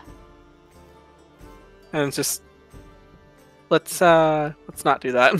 he just Like, goes away bag- again. The mask in the back. PTSD. Like he like like it's like one of those things where he like appears for a full minute and he just sits in the doorway just staring at Hawk and just shakes his head Hawk, Hawk, like, oh, okay. and just slides back into into the shadows. Did you think I was gonna say Mr. Hawk? Mr. Hawk. Wow. Mm, wow. Yeah, I I was gonna say wow. Hawk, like, I don't know when I got a uh, prefix. I was like, Is might it be because your gray- dad's It might. It might be with the gray hair that you just adopted. Hawk, like, what gray hair? Just right there, right by your temple. I see it. Who's saying that to him? Gala? Oh, Gala, yeah. Was she saying it with like that shitty, like Tatterick smirk, like you know they're fucking with you? He's like, get it. I don't want to look like your brother. You're right. He'd probably he'd he'd probably lose his mind thinking that you're trying to copy him to steal his husband. God. And then she'll just reach over and just like yank it out. Ow. Um, Hawk, like, you better not be calling me Mr. Hawk just because your dad's here. No. Huh. She's doing it because she feels sorry for you. Stop. okay, Hawk, like, can I have another drink? Okay, but this Uh, is your third one. I'm glad I you keeping have count. three. Uh, Um, and then I- We'll tab out, I'll walk outside, I'll come back inside and start a new tab. Uh, That's not how that works. The whole thing. West, is that how that works? Uh, probably. Cool. It's worked for me. Uh, Might need to get a mustache. Hawk's like, I have a beard. and I'm not shaving. Works for me. Works for me. And Um, Zebby just like, this is how your establishment gets shut down. Wes is like, lighten up, the world's ending. Hawk, like, and it's all my fault. Oh. It's not. So, Mr. Hawk.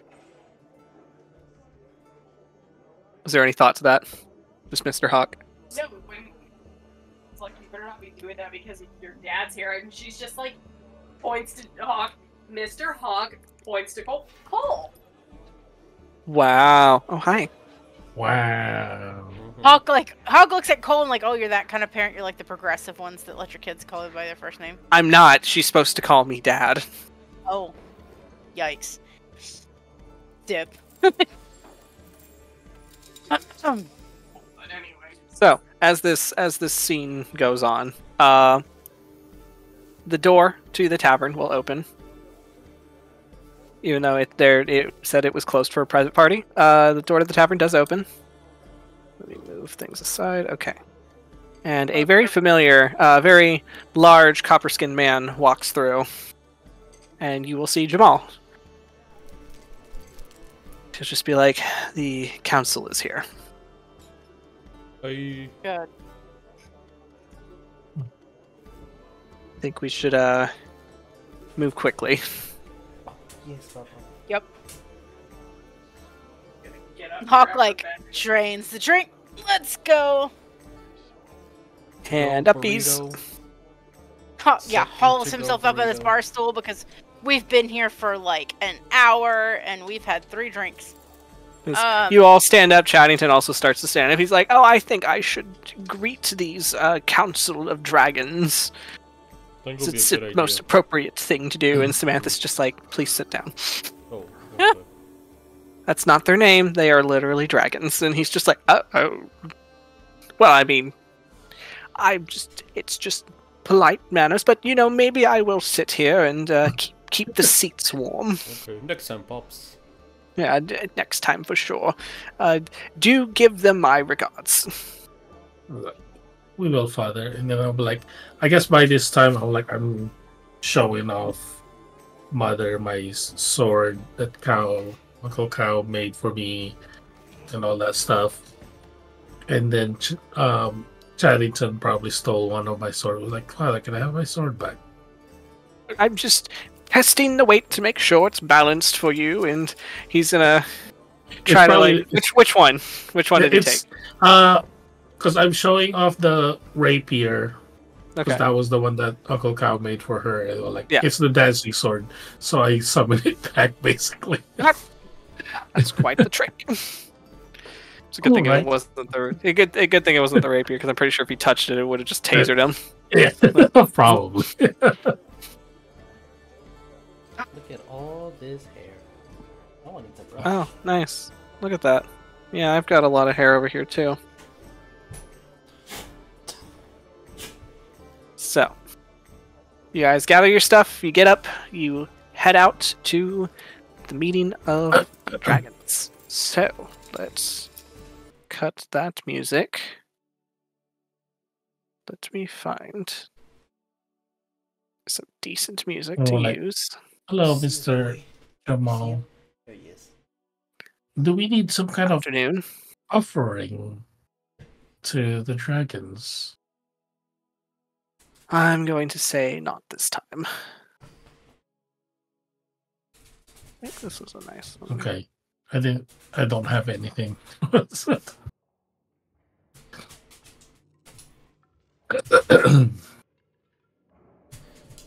to debate if I like that music. I might keep that.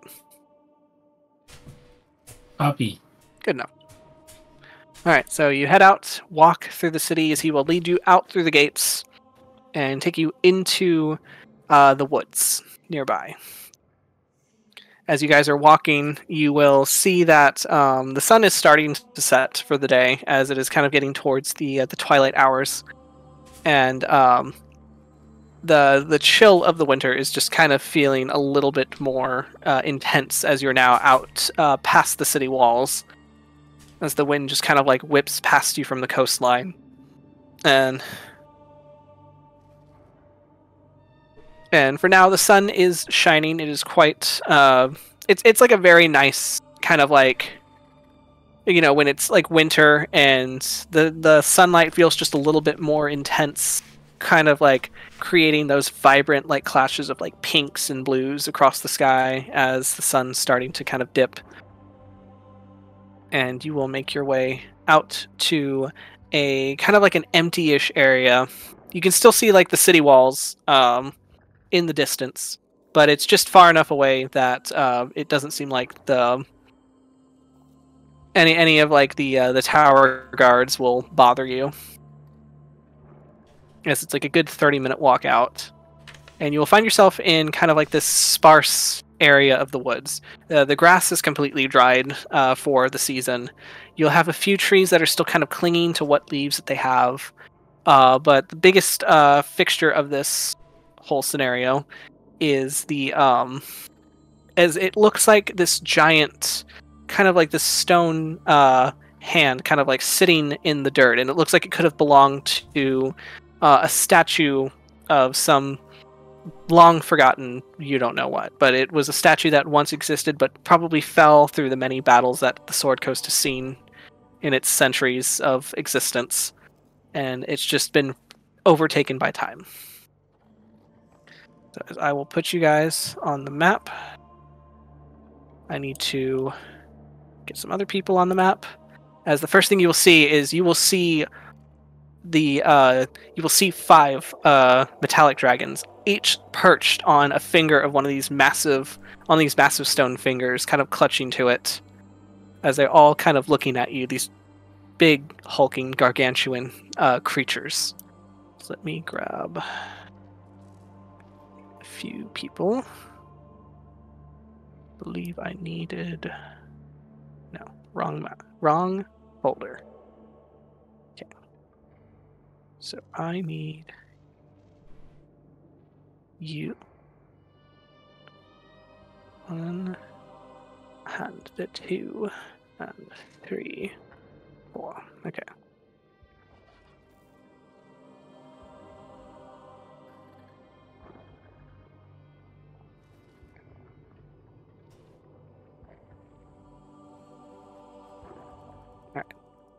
So you have Jamal leading the way.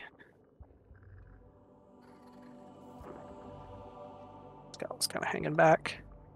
So, so as you approach the uh, what is now the makeshift dais of this meeting of the dragons, uh, all of their heads just kind of like swivel to look at you. And I'm going to need everyone to make me wisdom saving throws, just for the sake of it. Let's go.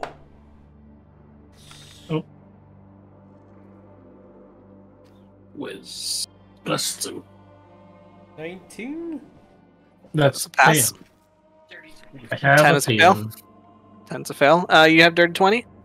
That's pass. This is not a magical effect or anything, right? No, this is just sheer instinct. 14. 14, that is a fail. So, for those that did not pass, you are now considered frightened of the dragons. Great. As you have five gargantuan uh, ancient dragons kind of all looking at you.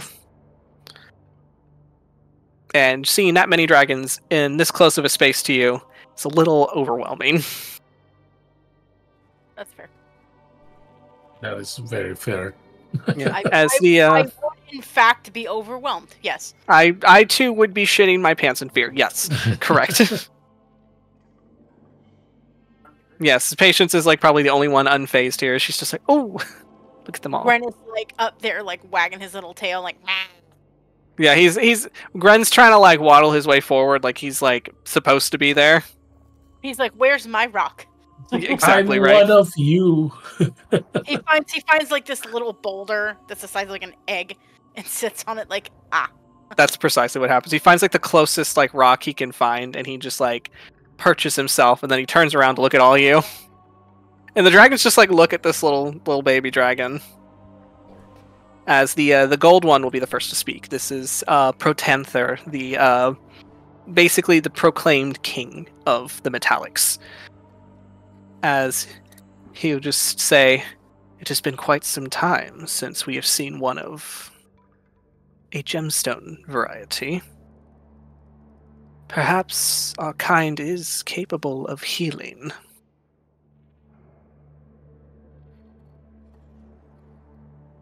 She kind of like looks uh like he's he's more regarding the the uh the wormling than uh you guys right now.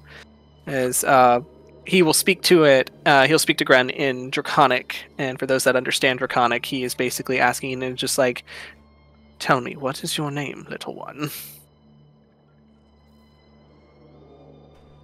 And uh, Gren will uh, give a very kind of like you know, like a toddler talking, trying like slurring through their words, trying their best, as he will proclaim his name as Gren.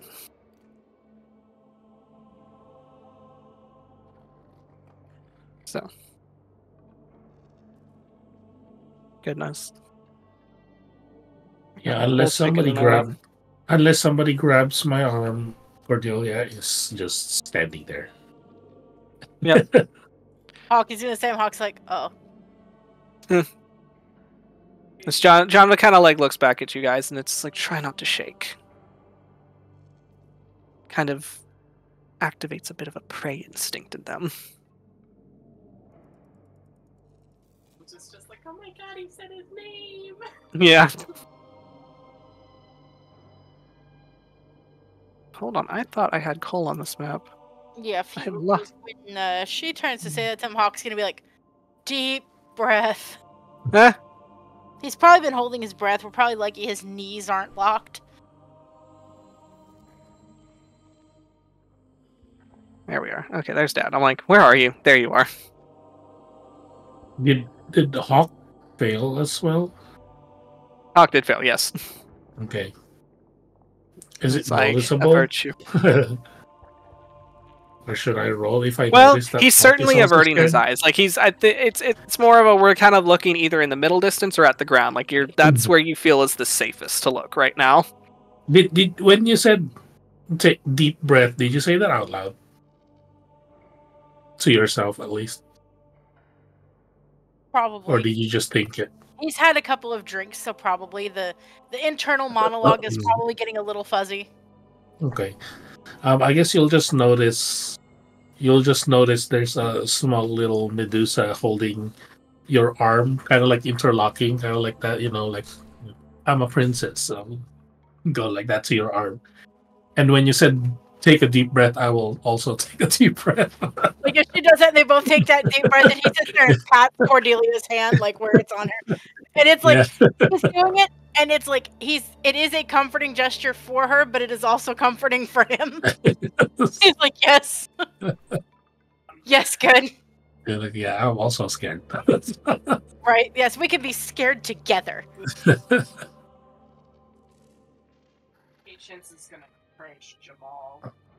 Okay. And In Draconic just ask him like, "Can we approach?" Or Cole's just like, Rosemary. Jamal's like, uh, let me speak first. As uh, Jamal will approach, and he will kind of have his head kind of down in uh, respect as he speaks in Draconic to them. As he will basically say that um, that he has brought the you know the ones that carry the mask, and that they wish to approach you on what to do next, as they also wish to keep um, Tiamat confined to her cage.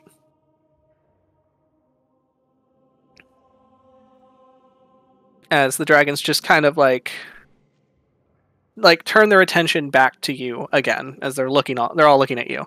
And uh protanther kind of like raises his head up and not, none of them are moving from their perches as uh protanther then like looks at each and every one of you. And you just kind of feel that overwhelming smallness which tarsis that is that is a feeling you don't feel very often. Hmm as you are like uh, as the as the thought dawns on you i am looking at a creature that has been alive longer than i can conceive. Like that is longer than i can possibly imagine to think what these eyes have seen that are now staring at me. As uh, protanther will speak uh, to you in common as his voice will kind of rumble deeply in his chest as he will say you may approach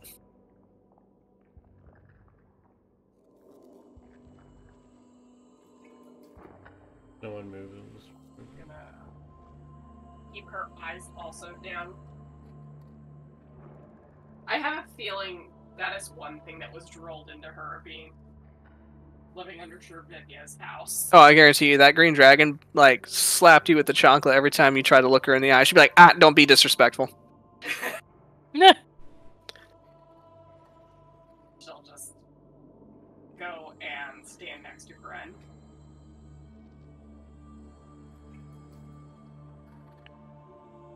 right, what's the rest of you doing?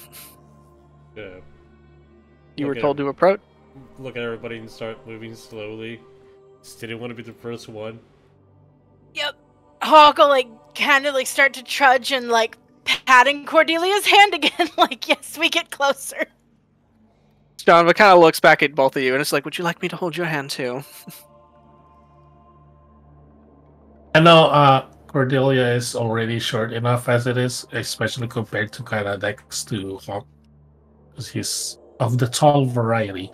But you will notice uh, Cordelia kind of gets smaller every time you pat her, because she would get like, You're like, "Wow, I didn't realize she was that small. a little bit. like it is comforting to her, but also she's just like she's having a hard time to walk. As you're like trying to walk with Cordelia, you you're like Hawk. You look over, and you're like, is she shrinking or? Like, look, you were already small, or I'm tall, or both. Like, what? eh.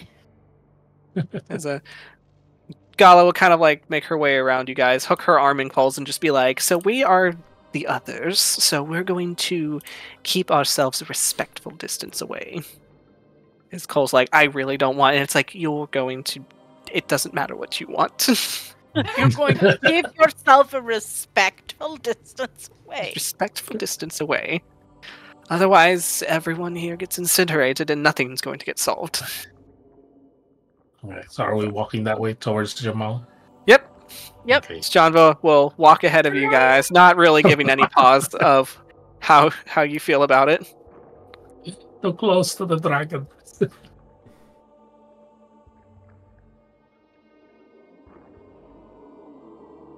as uh, Protanther first in Draconic, as Patience will uh, understand.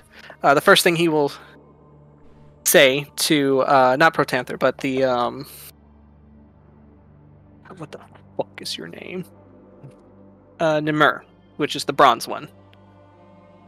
As Nymmurh will kind of regard uh, Jamal, uh, which is going to be this fellow right here. And in Draconic, he will say, Why is it you shame yourself by approaching us in such a small form? You are among the Council of the Dragons. You should approach as a dragon.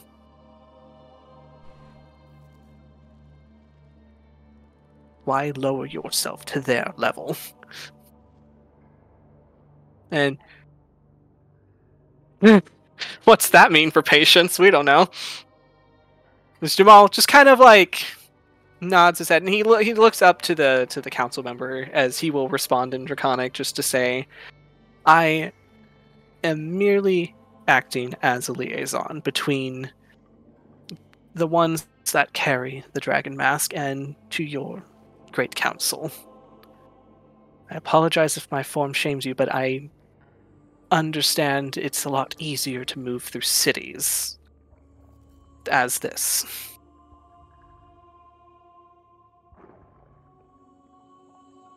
And one the the uh, the bronze one just kind of gives like this frustrated chuff, but just kind of settles back onto his perch. As Protanther will look to all of you, just like, so we were brought here on the information that you have a relic Tiamat. Hawk just nodding. How did you come across such a thing?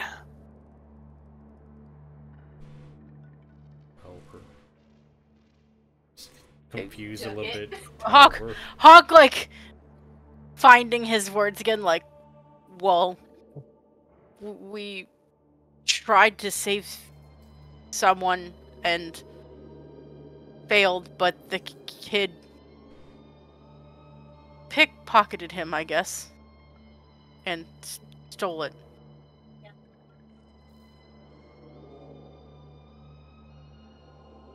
Perhaps you did not uh, understand me. You are in possession of a mask. And what color, may I ask, is this mask? Blue. It's blue. Patience trying to be joking. She's like, it's, it's blue. Hawk, like, I don't know what colors are right now. Blue. So that means you had to face a dragon of that similar color. And you were to tell me that you fell, Lennithon. yeah, he kissed my sister. God. Under my breath. Oh, is it the mouse? Yes. Jamal just kind of leans over to you, Hawk, and is like, they, they do not like jokes. I'm not joking. He kissed my sister. um. Uh, yes, Lennon Lennithon is dead. So they kind of like look amongst each other, and uh, uh, the copper one will speak, as she will say, "Good. I'm glad." Lennithon has always been greedy, as taking more than what he is allowed, chasing dragons out of their rightfully earned territories, sneaking his way in like some kind of parasite, using the humans to more or less fortify his own territories. That makes him far more cowardly than any of the chromatics truly tend to be.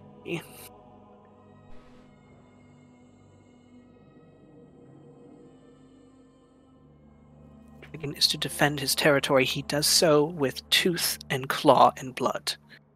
To use those of a weaker species, it's shameful.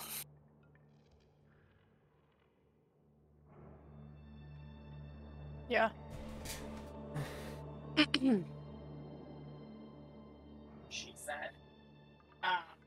with the whole question, uh, not the question, but the statement of Mhm. chasing dragons out of territories and from what Patience learned. Yeah, she's like,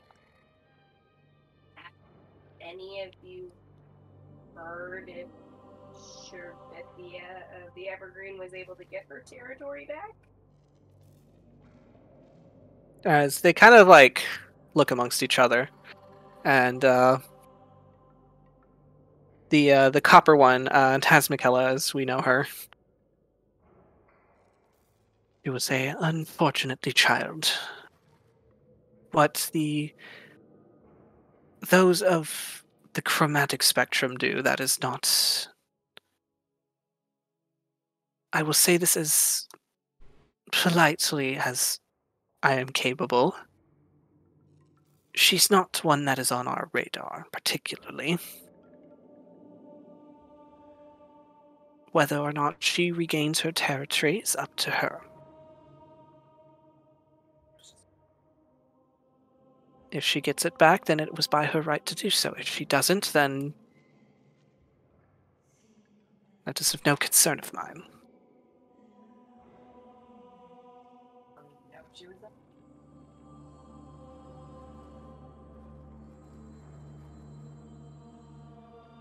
I'm sure if she's fine, and if this is a dragon that you hold a an attachment to, she will make her way to you one way or the other.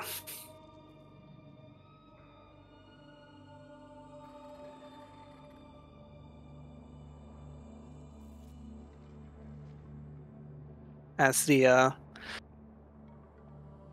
the uh, the silver one, uh, Otari, for simplicity's sake, as their full name is Otari Liacanos. We stick with Otari. They'll kind of uh, the silver one will just kind of like tilt their head to the side, uh, looking to all of you and just like, so is it true what they were doing in Termish?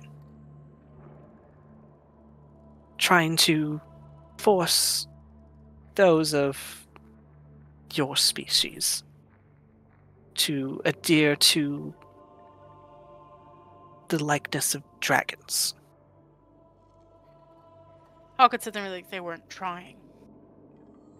They were doing.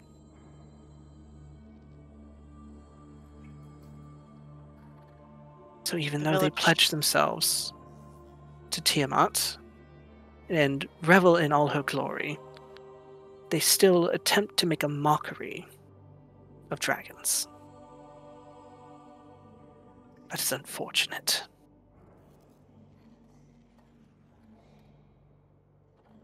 So Protanther will nod his head and just. Yes, we will have to see about uh, exterminating every bit of those that we come across. Can't leave any trace of those abominations.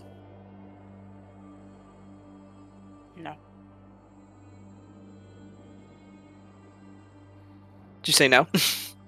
Yeah, Hawk like no in like agreement. No, you you can't leave. They can't be allowed to stay. okay. But you're telling them no, you can't do that. And be like, excuse me. the golden dragon like, like, bitch. who are you? Uh, no, Hawk Hawk will sit there and be like, no, I can't. Right. So that will be one of the next steps to take. But I suppose the main question here is what are we doing with the mask? Well, I've been advised that we can't destroy holy relics Of course not. Not. we didn't make them. Yes, We were that's hoping that you might have some ideas.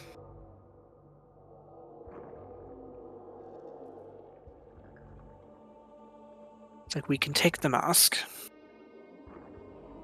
if that is what you want as this is entirely the business of our lord bahamut. If you give us the mask then we will make sure to uh, take it to one of his temples. We could have it well not sure if we'd be able to be able to you know, cleanse it, for lack of a better word. Desecrate, I guess is the word. Consecrate. There it is. Consecrate it. Be able to consecrate it.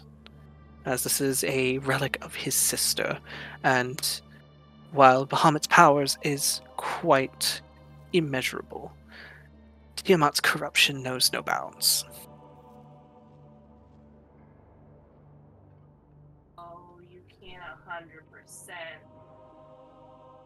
Ensure on that. we can ensure we can keep it safe, but as far as destroying it, that is an entirely different matter. That is a lot more complex that you're incapable of grasping.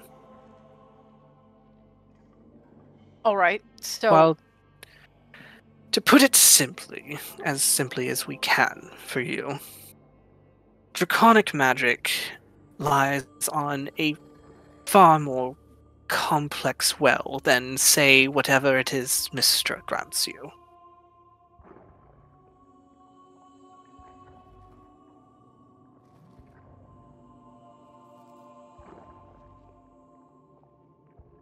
right.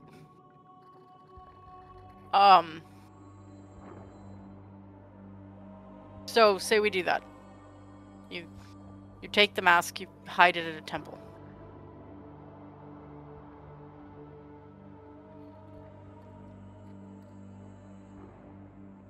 What then happens when the avatar of Tiamat decides to set her sights on anyone else?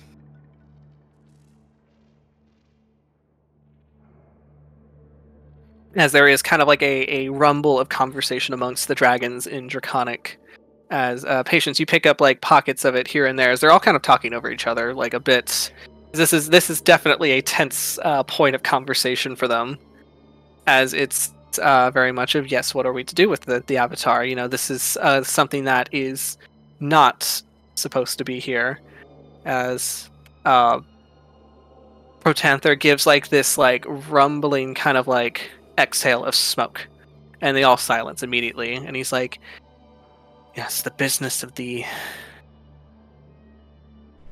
abomination that tiamat has claimed as an avatar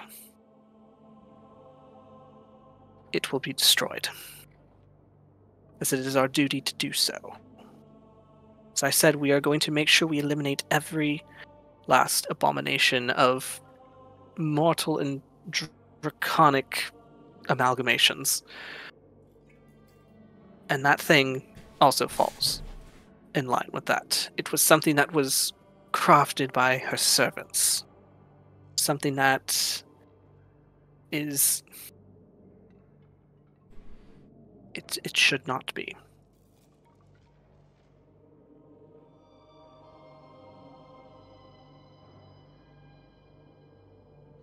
And if it decides to set its sights here, then we will meet it. And we will meet it and we will destroy it. we will cleanse it in the name of our Lord. We cannot let this insult continue to exist on this plane.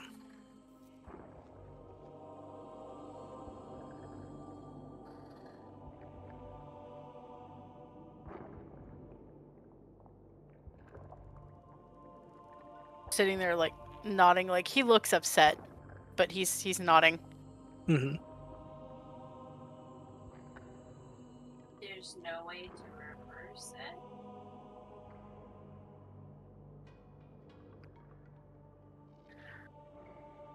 As the uh, the bronze one uh, will speak again, uh, Nymmurh, as he kind of like gives like this indignant snort, and just like, what is there to save? It is what is there to save? My sister.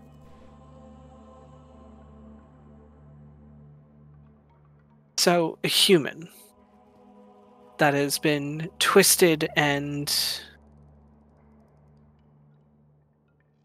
You know, has twisted and tainted with the parts of deceased dragons.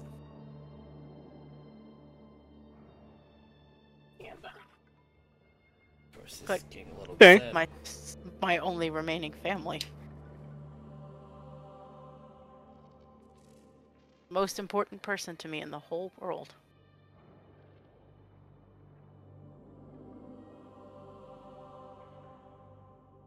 high enough to spell magic could do something.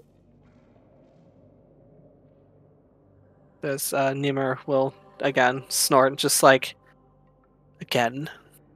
Draconic magic and what you call magic are two different things. Whatever parlor tricks Mystra hands out to you, uh, just pa- they pale in comparison to the magic amongst dragons that is earned. I, I used to dispel magic on one of the dragon abominations, and they were able to stay sane and kept their mind. As Taz will speak up next, uh, looking to Nymmurh and just say, Well, draconic magic or no, it seems that these things are crafted with their magic. And if their magic is able to dispel whatever it is these wizards are doing, there is hope, I would say.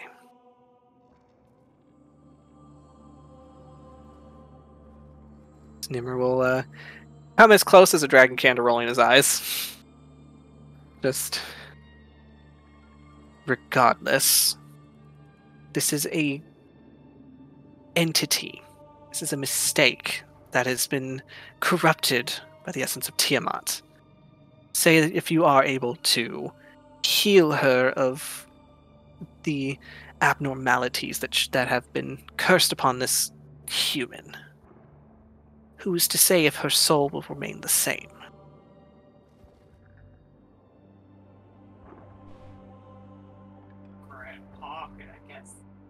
Just kind of like shrug, just like, well, isn't that up to her soul then?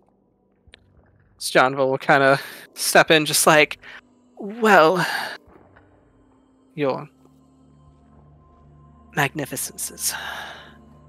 I believe uh, the human that you speak to, that um, the uh, avatar of Tiamat is uh, bound by blood to, as the avatar is his living sister. Uh, our Lord Bahamut has actually inscripted him to our fight against Tiamat. He is one of our newest paladins of Bahamut. So I think it's within Bahamut's will that we try to save her. And when she says this, like you watch all the dragon's heads just kind of like rear back, like and look at Hawk, like scrutinizingly so. They're just like staring at you, like This guy? this guy. Oh. Yeah, Him? Oh. as Protanther will take a deep inhale of his breath, and it almost feels like he's about to like expel uh, fire, but then he just sighs and like the smoke rolls out of his nostrils. I see. Well, if it is Bahamut's will, then we must abide by it. Even if we don't agree with it, if he thinks there is a chance to heal this human, then we have to try.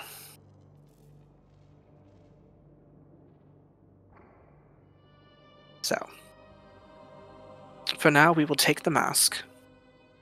We will make sure to hold on to it and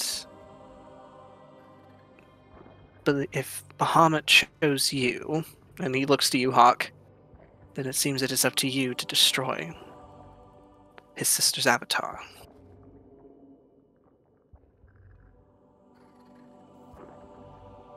Hawk just sits there and, and nods. Yes.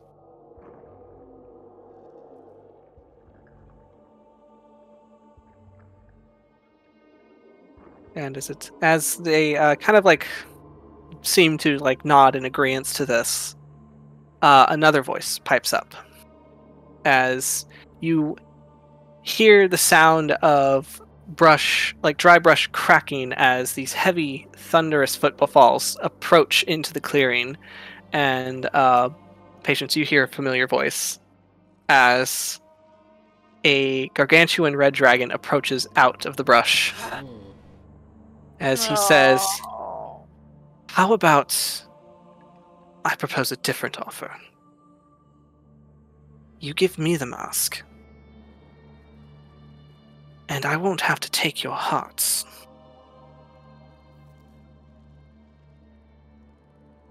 And that's where we're going to leave it for tonight, as it is past time, and if this continues on, we're going to be here a while, so. Mm, oh, Good is like. Uh, what a time for the anything these cleric to be saying- napping. Yeah. Yeah! What a time. These guys are being douchebags, and then another douchebag comes. You know, even bigger douchebag shows up. I was about to say, I mean, yeah, Cormorant is like at the top of the list of douchebags. Yeah. He's like chief douchebag, like general of the douchebags. The vice vice douchebag of the douchebag committee. Yeah. Okay. Alright. Enough of Jakey's commentary. So this is where we'll leave it for tonight. As you guys have converged with the Dragon Council, you are trying to work through your deals of how they will aid you in your fight against Tiamat. But it, now it seems that one of Tiamat's top chosen have approached with a counteroffer that. I mean, you can refuse, but he's not gonna like it. How about no? Okay, so as he approaches with give him the mask or he's taking some hearts. And he's not saying that because it's almost valentine's day. So I was about like if Hawk were his usual self, mm, like, look, you have to ask me on a date first. yeah. So uh no game next week because i will be out of town doing something of familial obligation. We will pick up again probably the week after and see where we go from there so until then uh, enjoy this cliffhanger it's going to be a fun one when we come back and uh yeah you guys have a week until the apocalypse let's see what happens so awesome. Yeah. Yay! So with that, thank you guys for playing. Thanks for people that watched, and night. Night, everybody. Adios. I Ham.